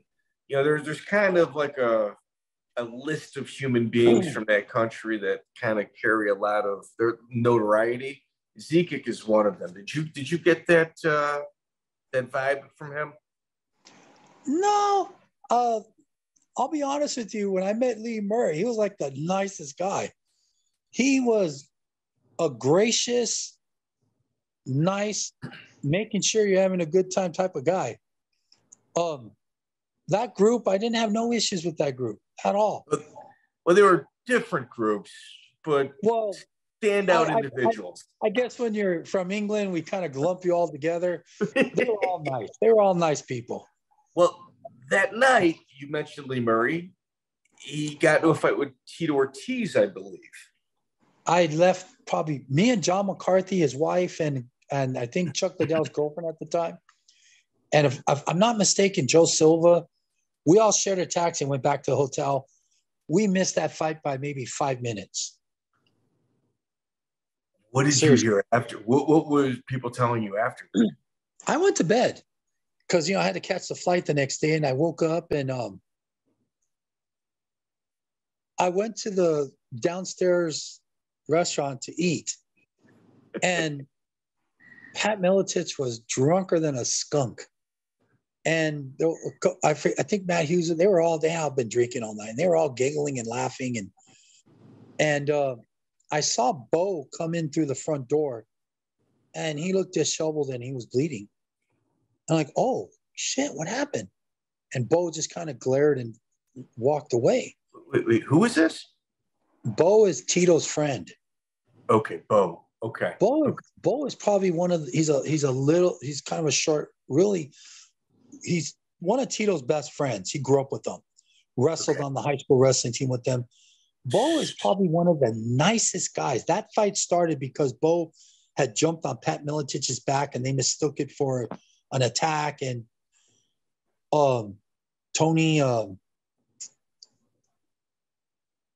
oh, what's his name? Bo was the guy that took about four or five punches that got knocked unconscious. His hand Bo. got ran over by a taxi. Bo. That's Bo. Okay. Okay. So the nicest guy in the whole friggin' country at the point got knocked out, whatever. And and I I understand Tito's, but when you turn and they faced each other, the story you hear different stories from different people, and I definitely don't want to get into it, but um, it was a big misunderstanding in my opinion, Yeah. a huge misunderstanding. and then there's alcohol involved. There's a lot of testosterone. Um, eh, dude, anything can happen in a situation like that. And you know, you're not from there. Do you know what I mean? It's like it- it's just it's history. What are you gonna do? It's history. I I I wish had I been there, I probably could have stopped all that. you hope you your intent would have been anyway. I would have Right. been like, "Oh no, Bo's cool. He's one of us." You know, they thought he was being attacked, and and God, I can't remember the guy's name. He fought in a couple of UFC shows. Um, Tony Fryklund. Tony Fryklund, and Did I get it? he- he's the one that yes, he's the one that ripped him off the back, and and that was just. I guess he didn't either didn't know know Bo or recognize Bo, and that's how it all started. And Chuck just ding ding, time to fight, you know, and just started throwing hands in every direction. And to what I understand, the it was a total misunderstanding. I I I almost wish they could have played it out and had their fight in the cage. Definitely a lot of hype. Definitely would have been a huge fight. Who's to say who would have won? I, I hear a lot of amazing things about Lee Murray, but I also know Tito is a tough son Capable. of a Yeah. bitch. Yeah, Add the takedown, and it's an interesting fight, and it never happened. Well, and man, we've got a lot of people from Europe that listen to this. So I'm going to ask for forgiveness Mm. in regards to feelings in regards to this statement. But in regards to like wrestling and like output of, of athletes, United States, Brazil, Russia, they're right there. I would say Mexico has surpassed the United Kingdom. And it's largely in part because the Mexicans fighters oftentimes will come up here, work out with the wrestlers, get a real good wrestling defense. Where the wrestling in like the United Kingdom, it's just it's not a high level. It's not. Like You, you look at a guy like um um God, I always see his podcast. I can't think of his name. Chael Sonnen, No, from England, Bisping, Mac, uh, Bisping. the Count, Mike Bisping, yes.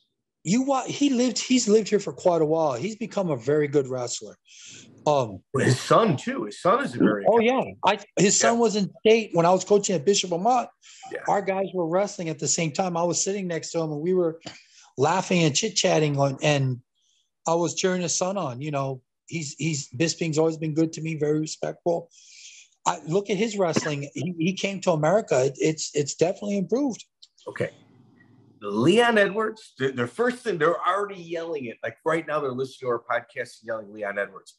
Leon Edwards is the first person from their country that trained there in order to get where he's at.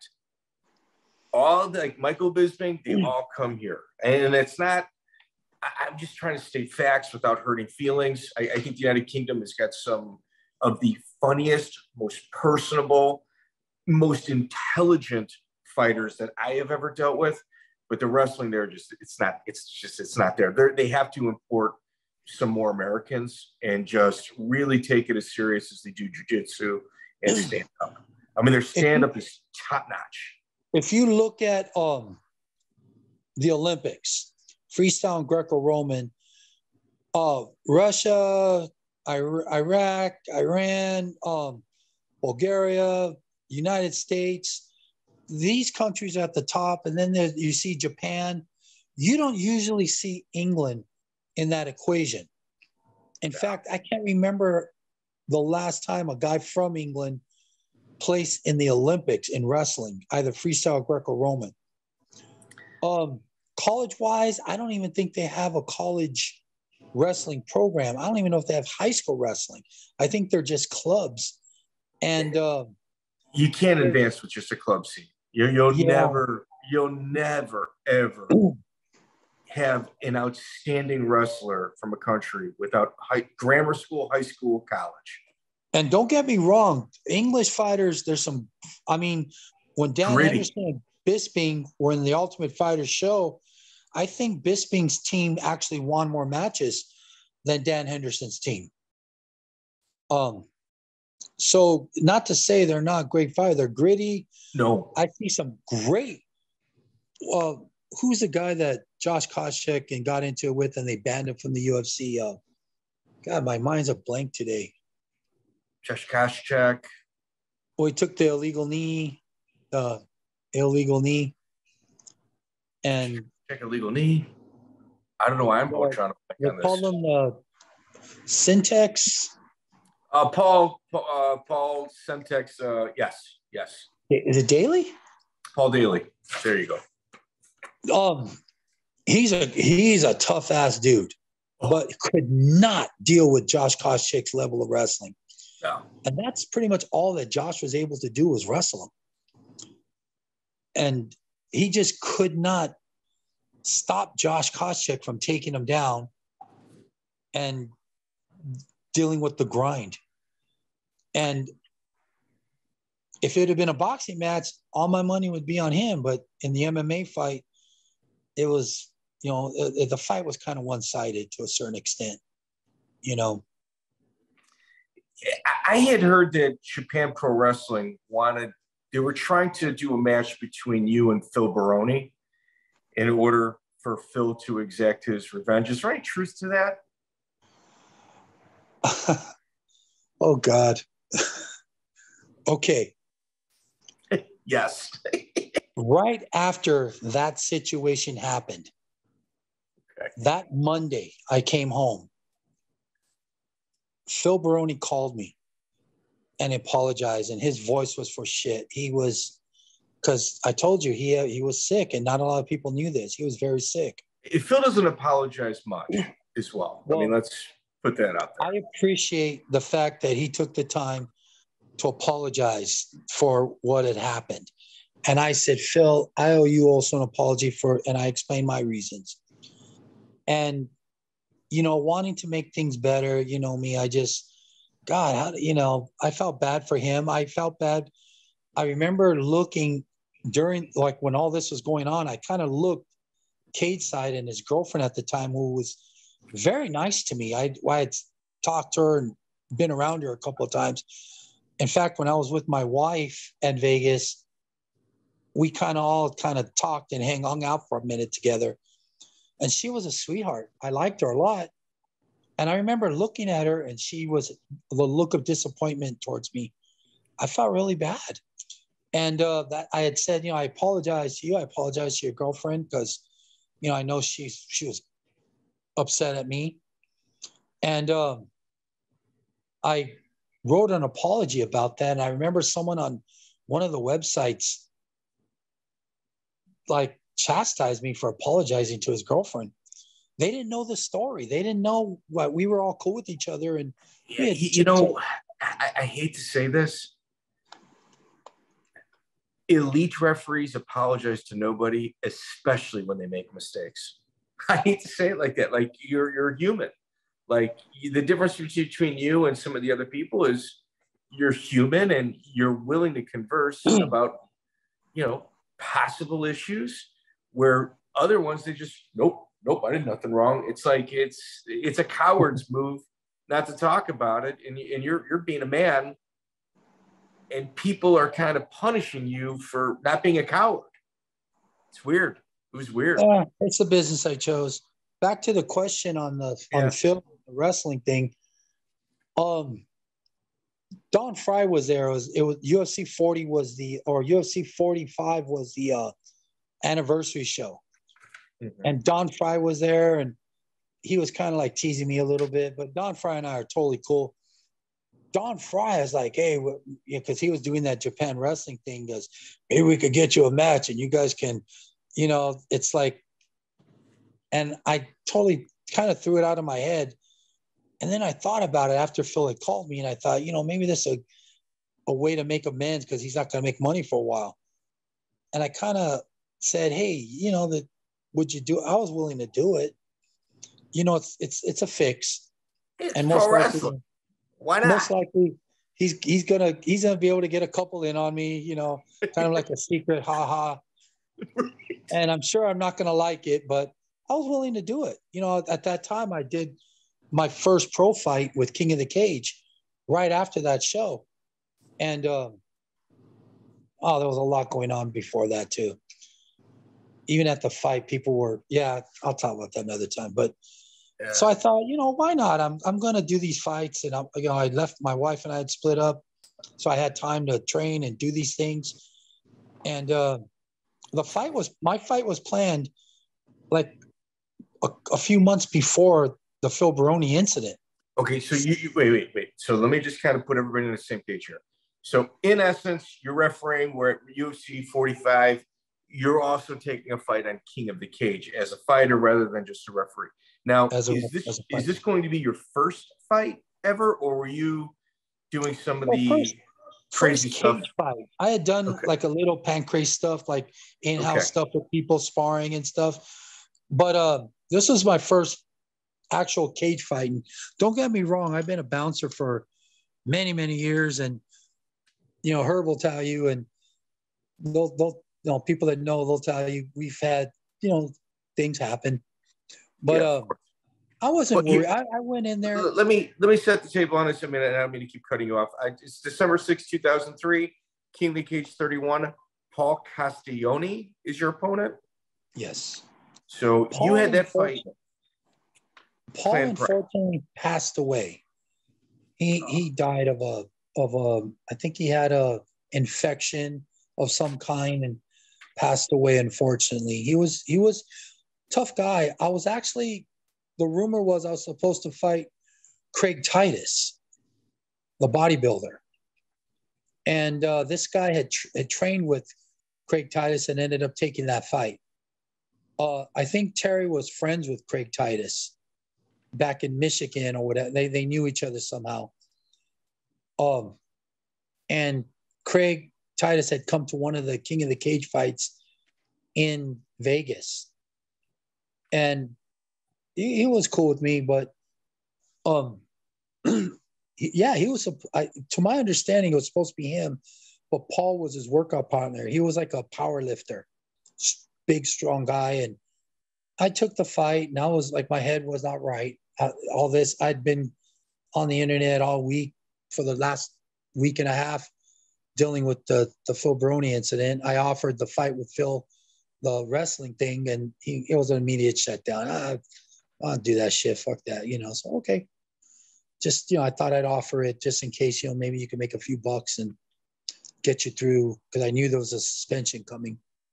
His suspension, um, I, I, I think normally when you touch a referee the way he did, it's but you're getting a year. And the cameras didn't catch it. At least the UFC cameras they showed didn't catch it. Um, but he only took three months, and I think it's by and large. Did you write No, a letter? six, six months. Did you write a letter to the athletic commission in regards to it Yes, on I did. behalf? yes. That's incredible. That's incredible. I uh I was when I was like, Phil, I asked you three times, you know, because he was striking, trying to strike me from the bottom, and I was kind of holding him. I had a knee on top of him, and we got up, and then Dana came in, and Dana was telling him to cool down, and I was Dana like, Phil, I asked you three fucking times, and then he hit me, boom, and um, Dana was like, Don't you ever hit a ref, and I was like, you know what, I shouldn't have provoked. I felt like I provoked it by getting close to him and telling him what I told him Instead of walking away.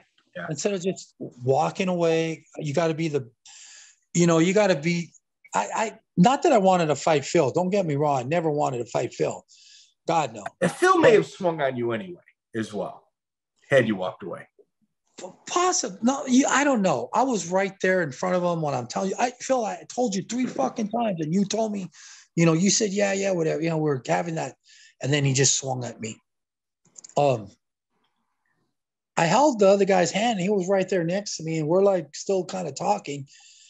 I know he was upset, but you know, it's not like he punched me right there when I'm doing the yeah hand thing. You know, um, it was you yeah, know he went we through a ceremony afterward, and so did you. Yeah, yeah, you know, um, the little street cred on on Phil's part. It seemed like the internet was they were after me, man. I, everywhere I went, I was, you know, even at the fight, people were like, I, I there was some FUs that, you know, they there are people that some guy told me, I hope they knock you the fuck out tonight. okay, thank you. You know, I'll try and disappoint you. You know, uh, I don't know. I mean, it's crazy as you know, we're talking about Evan Tanner, Phil Baroni. I mean, look what happened to Evan Tanner and look where Phil's at. I mean, two just absolute tragedies. I I man, Evan Tanner was a was was a heartbreaking I I really we had a great conversation the day after that fight. And then after I did the apology, I know he was disappointing in me because he kind of defended me. And I we never got a chance to clear that up. And I felt Evan was a person that I wish I would have ran into him or somehow reached out to him. And you think people are going to live forever. And uh, I I I I regretted that. The part with Phil, I did my apologies, and we actually worked a couple of uh, Rumble on the Rocks together.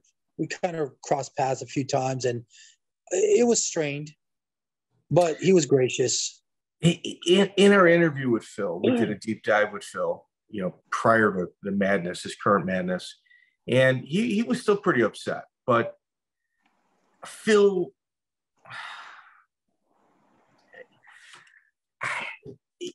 there's a lot that I think both of us want to say in regards to Phil, but we're trying to be professional in regards to it.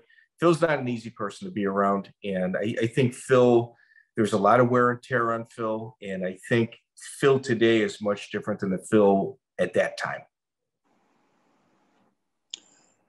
I've I've always had good dealings with Phil.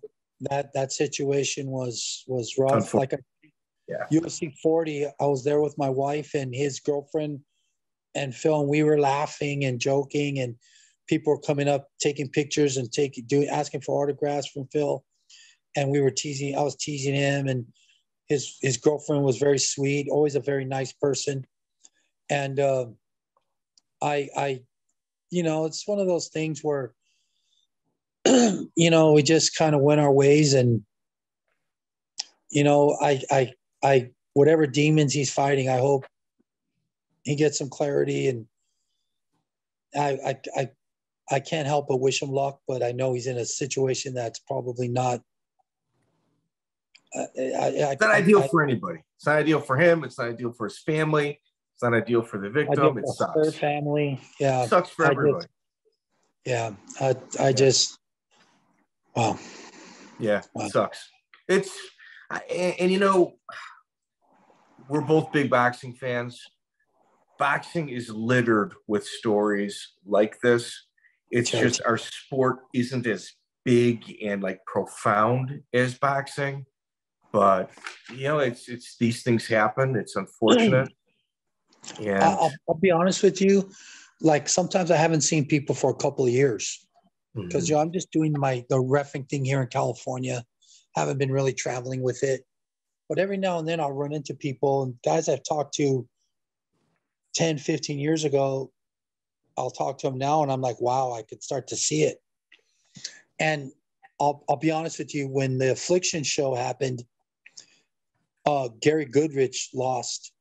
And I was doing interviews for the fight game.tv. And then if you look up one of my interviews with um, Goldberg, the professional Michael. wrestler. Oh, oh Bill, I, Bill Goldberg. I cornered him and we did an interview. And During the interview, uh, Gary Goodridge walks by and hugs him, and they kind of start talking in the middle of my interview. And then he walks away, and we finished our interview. And afterwards, Bill says he's starting to have issues. All right. So we had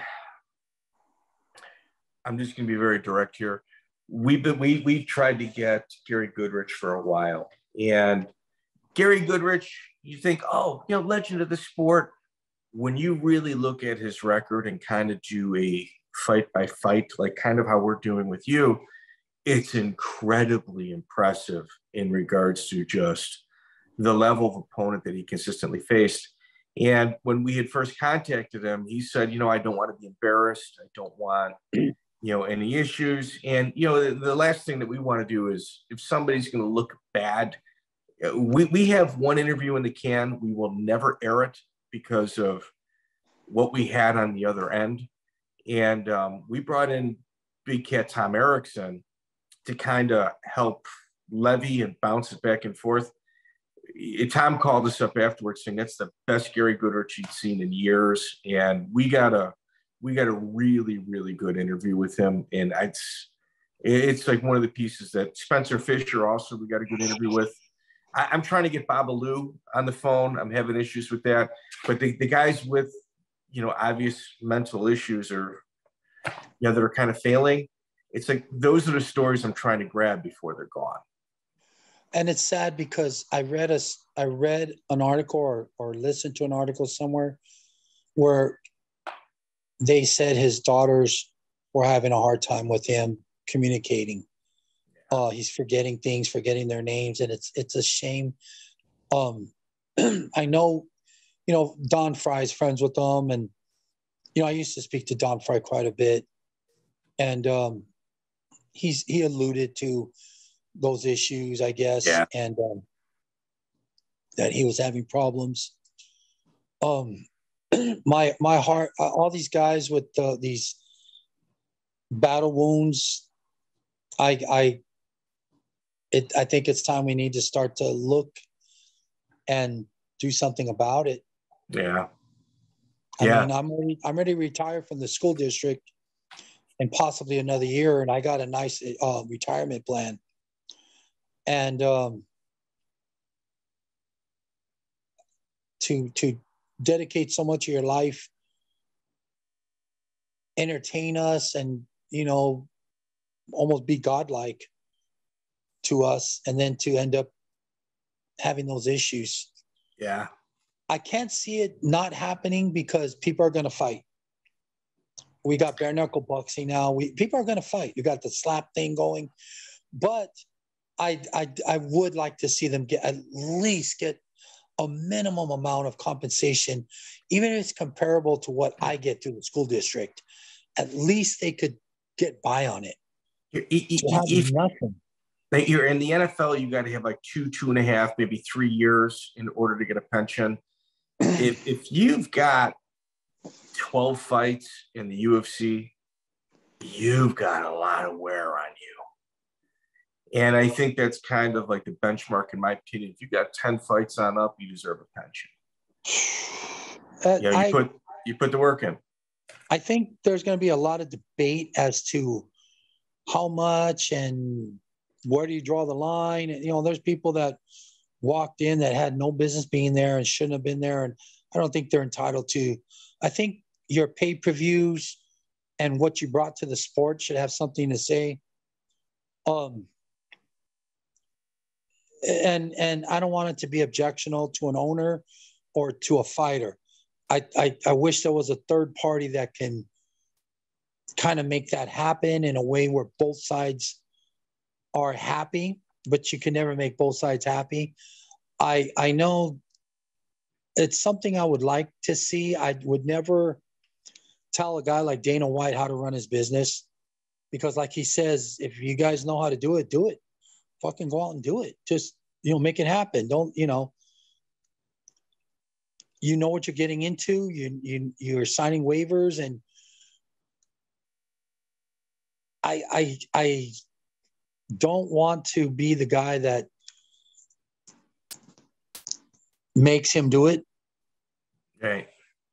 I don't want to, I don't, you know, I, I just, I'm cheering for everybody. Hopefully there something happens and if not, I'm still going to be watching UFC fights. And I think Dana's doing a great job. He's promoting some huge, big shows. He's trying to put things together. And people always giving their opinions on oh, he should have done this, should have done this. And I, and now I tell them the same thing Dana tells them, go out and do it. It's harder to put on a show like those shows I did in the at the school.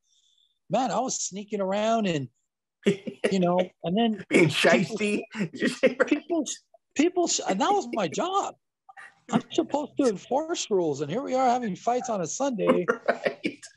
on a mat, not even in a ring or a cage. And then, uh, uh you know, my my my the, the thing I tell people that they come to me last minute. Oh, you should have done this. You should have. I would have done this. I didn't do it. Do it, man. Just don't. You come last minute after I already took all the risks. Yeah. you know? Let me talk about a couple of risks here. So you fight, um, you know, your first bout against a giant bodybuilder, and then your next bout is against Tony Berg, and you close your career with Manny Rodriguez, where at the last minute throw a spinning back fist and you know maintain top position and, and win the fight. What was the reason you stopped fighting? I was told by um, Marc Ratner, who is now working with the UFC, yeah. but he was the head of the athletic commission in Nevada, and he worked me a lot. He he had a lot of faith in me, and when the Baroni thing went down, the next fight was in Vegas, UFC 46. and there was like a press room where people from the press can go into, and there'd be articles and like a press packet. And there was stuff with me. And there was a picture I look even fat in one of the pictures where I'm holding my hand up for the fight where I won. And the article was negative and it's there in the UFC press room. And I'm like, what the? Are you serious? What does this have to do with that? I thought, you know, and then there was a Phil Baroni stuff up there that, you know. Do you think, do you think it was intentional that they put that in there? No, it's anything related to MMA that had, the, you know, because in my articles, Phil Baroni's mentioned. And, you know, our names are almost synonymous for the longest time well, here, God forbid a referee actually has got fight experience. We definitely don't want that, right? I mean, it's just, it's, dude. I, I, hate the press. I hate the UFC press corps. Um, we refer, refer, to them as prostitutes. Um, they're actually PR machines. Oh, that's good. Know, just getting good, good seats. They, they don't. There's supposed to be animosity between the press and the organization. They're supposed to be keeping the organization honest that does not exist? The guy was it Silva, the guy that owned uh, uh full contact fighter? Uh, Joe Gold is who you're referring to. Love yes. that guy. I thought Joe he Gold, was great. Legit. I thought he was great. In fact, when I would hold up the guy's hands or the UFC fights, you know, the people would stand in front of the cameras and stuff. I'd make a move. I'd say, hey, get out of the way so Joe could get his picture. And he shouldn't be commenting on something that he has an opinion on. Josh Gross is a scumbag. That's my personal opinion. I, am sorry. I'm sorry to uh, definitely don't want to get between you guys, but nah. I'm just saying the only dealings I had with Josh in the early days were were pretty positive. He was mad at me for yeah. one or two calls, but we sat and talked about it, and he was he was cool with me. Loretta's always been great. Um, like I said, there's been a few guys. I forget the the one that was on the internet of one of the men, he just blasted me. I mean, there was stuff that wasn't even like he was. He, I mean, there was some truth to everything, but there was stuff that it didn't go down that way. It didn't. It you're you're you know you're. You, I felt he should have gone a second side of that argument and not just be that guy that kind of cheering on the what did what did Ricco Rodriguez call him? The Cheeto eating guys on the couch. It's true. It's true. Some people just do it for the popularity. You know, they they yeah. do it for the popularity, and they, you know, at the time it was it was popular to just launch out at Larry Landless, you know, and he was the bad guy, and you know, there's a lot of things I did good for the sport not just in refing, but Larry. And you know, I, I, went, I was, um, I had before the Phil Baroni fight, months before, I was going to do that fight, and it was, it was, and back to the athletic commission thing. Marc Ratner's the one who told me at UFC 46, uh, that I couldn't have, I couldn't fight and have a pro license, uh, refing. And I said, well, I kind of committed to this for now. And he says, why don't you take a sabbatical? And during that sabbatical, let me know when you're when you want to come back. So here, this is a true story. So I Ratner's a brilliant second, mind. He's a brilliant yeah, mind. I took yeah. the second fight, and then he called me. It was during a K1 fight, a kickboxing fight in Vegas. He had me go down for some training, and we were all there for some training, and it was in the UFC office, in the UFC conference room, and we were all there. And Dan even walked in and looked at everybody and said hi. And we were there for training, and John was running the training, John and Doc Hamilton. And he had me, I was on the sabbatical, and he had me come down for that. And then I had a couple of fights fall out in a couple of different shows. Um, I did the fight with Manny Rodriguez. That's when I had to lay my gym down. And that last week, it was on the 6th, I believe. We had already moved everything out of the gym. I, my two year lease expired. I rolling up the mats. We had to move them into storage, and it was a mess. So I really didn't train for that fight, and, and I, I didn't feel like I really performed at my best. But also, so Manny was a black belt in jiu-jitsu. He had trained. He had been in the corners for guys like uh, Jason Lambert. Um, I believe uh, I forget the name of his school, but the guy from Affliction and him were roommates. The guy. You're talking about uh, Tom Atencio. Yes, they were roommates. They were friends, and he was connected, and he trained, did a lot of jujitsu, and trained okay. with a lot of people. Tom Atencio trained at the Body Shop with Antonio McKee, somebody that I know you had a close relationship with. Tony, um, yeah. Antonio McKee. Sorry about that.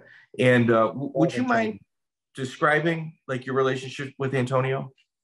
okay, Antonio was a I had a when I coached back in 1987, the year we won CIF, 88. I'm sorry, the year after we won CIF, we took second that year.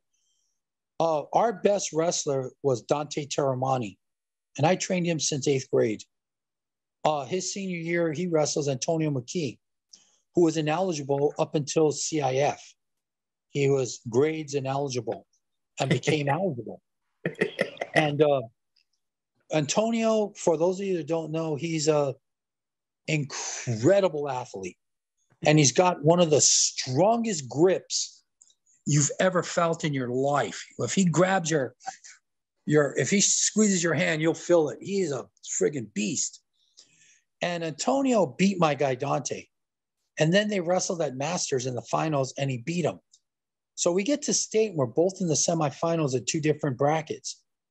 So Unfortunately, Dante was looking towards the finals and didn't catch the guy in the semis and he lost.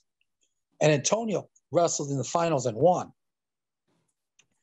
So over the years, you know, Antonio wrestled JC. I'd see him, say hi, whatever. And then we did a judo tournament. He happened to be there. And we were like laughing and joking around, warming up with each other. And we stayed friends. We were friends for many up to this day. And Antonio, um, if people ask him, who's the toughest guy you ever wrestled in high school? He'll, without hesitation, he'll tell you Dante Taramani, my guy, pays okay. him the biggest tribute. So when we interviewed Antonio, he says a lot and he talks fast and he talks a lot. And like, it's like a 90 10 exchange where he's speaking 90% of the time, even though there's three other people there.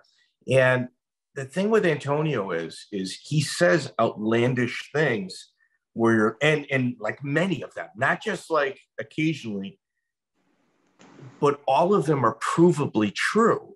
One of which was, yeah, John Smith, I beat him. I beat him in wrestling. And uh, you know, they were kind of asking people in the audience who wants to go with this guy. And I said, I'll do it. And I whooped him. And they were like, come on. Chael Sonnen heard it. Chael Sonnen does a little clip. He wants to know who was there if Antonio Smith. He, you know, he's not saying he believes it, doesn't believe it. He wants to know who was physically there. JD Hawkins was and a, a local bunch wrestling. of people contacted him and said Antonio McKee beat John Smith. I heard it not too long after it happened, I heard it from several different people, and it was pretty much the same story.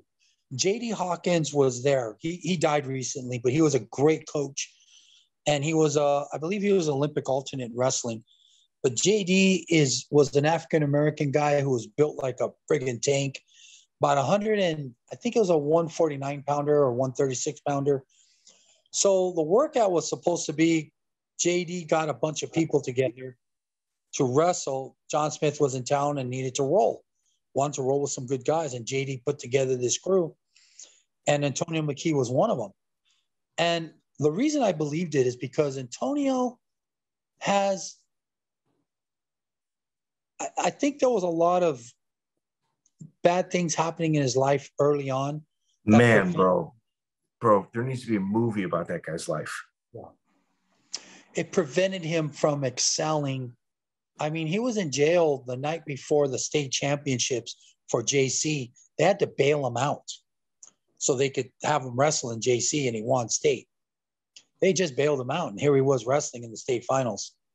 Um, he went through some some period of time where there was a lot of confusion, but and I say this enthusiastically, there was an enlightenment that came about him oh. where he turned it around, bro, one hundred percent, and he is the most legitimately great, super cool straight arrow person you've ever met. And to think back to those days, those gang days and all that. Yeah, like one of the first guys that started a beeper business back when beepers first came out in Long Beach area. I would trust my children with him. I've got, I, am Chicago. I've, I think I've met him in passing one time. I've interviewed the guy twice. And I, I, I will say the respect I have for Antonio McKee is just, he's completely sober. He's focused, dude. I, I love. I love guy. him. I I, yep. I knew his son when he was a little kid, and I was so proud and happy to. And he's very. He is such a sweetheart with me and such a gracious guy. He, I'd be at their show. They do a show, an, an amateur show at his gym every couple of months. I always do his fights, and his son always comes up to me. You need something? You want? You know, bring me water. Dude, this is a guy that won the million dollar prize at Bellator. Yeah. He comes up and brings me, you know, a, a, drink, just because I'm sweating. And you know, do you need anything? You want me? You know, he's always looking out for me. When he was younger, he was when he was still like a freshman or sophomore in high school, he'd be running back and forth, bringing me, you know, orange juice, yeah, water, you know. So, so Larry, we usually try to cap it off on the two-hour mark. We're, we hit it. Oh shit! And, and think about this: we haven't even touched your King of the Cage years. This is just a small portion of your career. And like I've got probably a dozen outside of MMA questions that I've not hit yet. Let me just ask you one kind of controversial question. If you want to answer, cool. If not, hey, it's on you.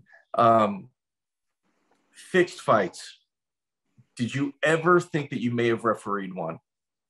I did referee one, and I didn't know it. I refereed actually two of them that I know of for a fact. Joe Charles did a show in Sherman Oaks way back in the day. Chuck Liddell was there. In fact, some guys. So the oh, ghetto man, the ghetto man, Chuck Joe walked, Charles. Yeah. Chuck walked right up to the dude. He says, Hey, you got 500 bucks? I'll fight you. And the guy just looked at Chuck and walked. He was scared of the shit. But uh, one of those fights is this guy, he's an actor. And I guess they all went to Russia. George went and he claimed that he won the championship. And which was total bullshit. I forget this guy's name. He's involved in acting and he's always bragging about how he's this great fighter. During that fight, he was giving instruction to the guy. And I was heard it. Boxing or MMA? MMA. Okay. It was in a cage in a hotel in Sherman Oaks, a nice hotel like a Hyatt or something. You give us the organization name.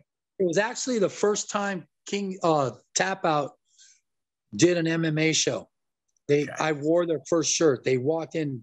Charles asked me to wear the shirt to ref, and I, I wore it. I wish cool. I would have kept it. And the other one was uh, obviously the uh, Mr. Bartel or Raphael. Uh, Raphael, uh, uh, uh, what's his name? Come on, dude. With Gerald Strevin. Uh, oh my God, how how do I not have this on memory? Raphael, Torre. Torre. Rafael Torre. Yeah. Okay. Raphael, his name's Raphael Bartel, but Right. Rafael Ralph Torre. Bartel. Okay. His So name's Ralph, Ralph Bartel is his real name. bring us through it. Con artist that ever fucking snuck into MMA. He's a piece of shit. He the, he did a King of the Cage fight. It's on. It's a, a, a popular video called "Wet and Wild" because it rained, Yes. and I Okay. wore this yellow trench coat, uh, yellow raincoat, and it was just a bullshit fight. And that whole situation, I remember he was like, because Ken Shamrock had gotten to an altercation with Mark Hall At the bathroom. uh, by the bathroom. It was in the hallway, and uh, people were taking sides with Ken. Which, yeah, she Mark Mark was a little out of line with saying something to Ken's wife, which I, I don't agree with. But Well, you know, I we covered this with Vernon White and Tony Galindo, who were there at the time. We've got some crazy Lions Den interviews that we did that are unbelievable that we've covered this there. subject. So go I ahead. You were there. Okay. he put it on him. He put it on him. But um, the point of it was uh,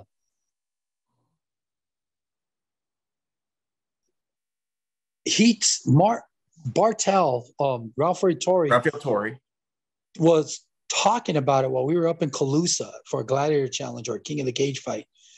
And he's, I, I guess Mark Hall's name came up and he says, Oh, I, I wish they let me fight him. I'd kick his ass. Or I'd, I'll, I'll, I'll knock him out, knock the stutter out of him or something. And I looked at him. He's wearing like leather pants and a tight black shirt, the earring and the necklace, trying to look the part. And I looked at him like, dude, you, you don't strike me as a fighter you just don't you know i was like felt like it was kind of like a like if mark hall was here i don't think you would have said that to him. I think mark hall has a little bit more fuck even though ken got the best of him that day i don't think you would have had a chance with mark hall. I think you would have i think he would have put it on you. And um he had made comments like that. And then i wrestled i did a grappling tournament in oh, what's his uh um moved to Texas, um find the UFC, um, darn it, Chris Brennan. Chris Brennan's next generation school. They had a school in Irvine or whatever. I went, competed in it. And uh Mark Hall gets in the cage with Chris Brennan and they're kind of rolling around. He's looking around. I remember because there were ta- a lot of people, there was somebody there taking pictures of him rolling with Chris Brennan. And he says, let, you know, he gets him in an armbar. Then he sweeps Chris Brennan. I felt that was staged, and Chris obviously said it was that he just wanted, you know, like, but he didn't let Chris in on it. He was using it as part of his pub, like, oh, look at me, I'm rolling with Chris Brennan and I'm getting him in an armbar, and I swept him. Like, you know what I mean? He was always that guy. Just So we, through our contacts, reached out to several people in law enforcement, and I got the Raphael, like the Gerald Strebent tapes when he was talking to detectives in regards to like the the wiretap tapes, and they're actually on our channel. We actually have them on our channel, and it's pretty interesting stuff. It's pretty pretty heavy stuff. I'll be honest with you. If you probably were able to go to, I don't know if he's in San Quentin or whatever, but sometimes they do interviews with prisoners and stuff. You know, they allow. I I would I I would say his ego is so fucking out there. I'm sure he would do it. I might write him a letter. I might write him a letter. Yeah. I, I'm not kidding. I, I think his ego is so friggin' and he would tell a sympathetic story because he'd probably want to appeal to the parole board, but I think he's a bullshit artist. Oh, well, the woman that was involved got Yeah, no time. a- She got no to get- time. She walked. yeah, it- and she obviously was in on it for the insurance money. Of course. But I think she turned some state's evidence and they got the murderer. But Hey, bro. Bro. California is a, a red state. I mean, a blue state. yeah, I, I don't know what that means. I live in Illinois. Our governor and mayor are friggin' amazing. Are you talking about Lori Lightfoot? Yeah, Oh yeah. We yeah. definitely differ on that one. oh, dude, she's so good. You guys should have her. You guys would love oh her. Oh God, no! Please stay there. No, no, you would love her. You would love her. I'd like to send her. so, anyway, sarcasm I, I aside. just not too long ago, I got a picture with um, um, ah, here we go again. Dementia setting in. Um, Gavin Newsom, no, I got a Another picture with all-star. uh, um, another all star. Ohio State wrestler. He's a he's a, a Republican uh, Oh. representative from uh, Oh. Ohio. Yeah, yeah. Um, Jim, Jim Jordan. Jim Jordan.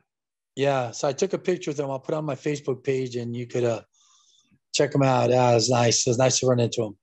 Dude, Jim Jordan beat Pat Smith or John Smith. Yeah.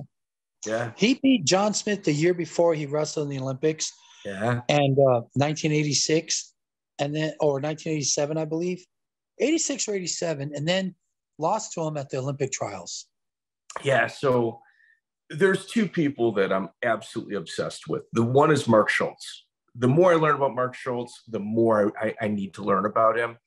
And the other one is Dirty Bob Schreiber. So any of those like old school kind of like wrestlers like Jim Jordan, Pat Smith, or John, I don't know why I keep saying Pat, John Smith, um, Andre Metzger. I, I don't know why. I just I'm I, I hyper focus on them and it takes me away from MMA, but You sh- you Yeah. should try to get a hold of Bob Anderson. I think he would ha- be a wealth of knowledge of. I, I don't have a contact for him. Um, if you contact, if you're able to get in contact with uh, Dan Henderson, call him at the gym. I'm sure he'll get you in contact with him.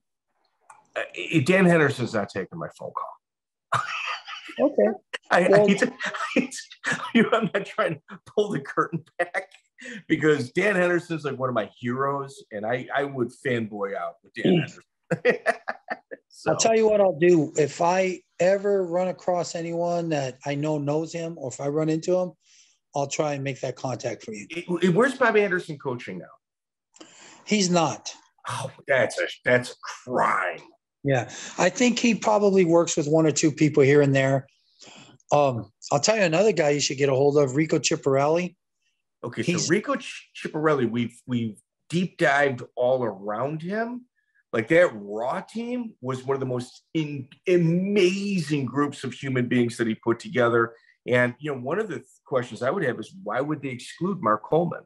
Like he, it was almost like he wasn't invited to the party, which started Hammer House, one of the most dominating gyms. I think it, uh, that probably had a lot to do with his loyalty to um, um, Randy Couture, possibly. I think that um, because Randy was his, their heavyweight, yeah, it's true. and It's that true. may have something to do with it. I don't think it was anything personal Yeah, other than that. it's um, possible. And then, of course, you know, you got an Iowa and Ohio State guys, you know, Well, well, well, that and like the Rico Chiapparelli, like if you really look at what took place with him and Tom Erickson, Tom Erickson does what almost 30, I think 30 minutes with Murilo Bustamante. when we interviewed Tom Erickson, he's like, Yeah, I know it was boring. And he kind of gave a deflated speech at the end where I'm like, Are you fucking kidding me? You were in the corner doing math equations in your head with one of the greatest jujitsu practitioners in the world and you're just defeating jujitsu size matters. You know, Coleman always says size matters, and you're proving it. It's one of the greatest masterpieces of early MMA, like, like that you're ever gonna watch. I'm like, And I'm plus, yelling at ever- Tom. when you ever Like, see a guy Tom, that wrong. when you ever see a guy that big that can move like that? They He is- threw Chiapparelli out of Renzo's school after that. Really? Yeah. He said, no, no, no. Right out, brother. I, I think I heard that somewhere. Yeah. I know, I know Rico Rico Chiapparelli is, you know, he beat Mark Schultz in the Olympic trials one time before Mark had to bounce back and wrestle back. Rico was the guy that beat him. yeah. And Rico is one of Dan Gable's all-time top top 10 Are you talking Dave Schultz or Mark Schultz? Mark was- Schultz. He beat Mark, the younger brother. Yeah, he beat Mark at 180. That's fucking crazy. Yeah, no, Rico's no joke, man. The guy is uh and I know he lives out here in El Segundo somewhere. He's got his own I, school and it's like private training. I kind of stalked him in the past. Yeah. I, I know a couple years ago he was with one kid, but father paid him to just train his kid. And he was just with his kid at went to CIF, went to state. And um the dad, who's an old school guy like us, wrestler, paid him to just coach his kid. And that was, I think that's one of the last times I ran into Rico. Um, even though he lives out here, I, I don't I don't see him that often. Pirelli was was also on that trip to Brazil where they kind of screwed over Mark Schultz in regards to uh, Jungle Fight or yeah, uh, no, no, it wasn't Jungle Fight. It was one of the Inaki's Inoki's shows, oh, and they, they, they did a fixed fight without Mark Schultz knowing. Mark thought he was doing pro wrestling, and then the loss yeah. turns up on his record. Yeah, dude, it's it's pretty. We we covered that with Mark in his interview. We've had Mark on like three times. Mark's a, he, dude. I, I like I said, the Schultz brothers. The more I learn, it's like the more I like. I need I need more. I need more. They're just incredible. So, Larry, we're going to have to have you back talk about sure about uh, King of the Cage, your King of the Cage years beginning. Okay. I've got a shitload of other questions for you, MMA related. I hope you enjoyed this as much as we did. We're going to publish it this Monday. Okay. Uh, okay. Uh, please send me the link so I could have my kids see it, and I'll put it on our Facebook page. And hundred percent, hundred percent.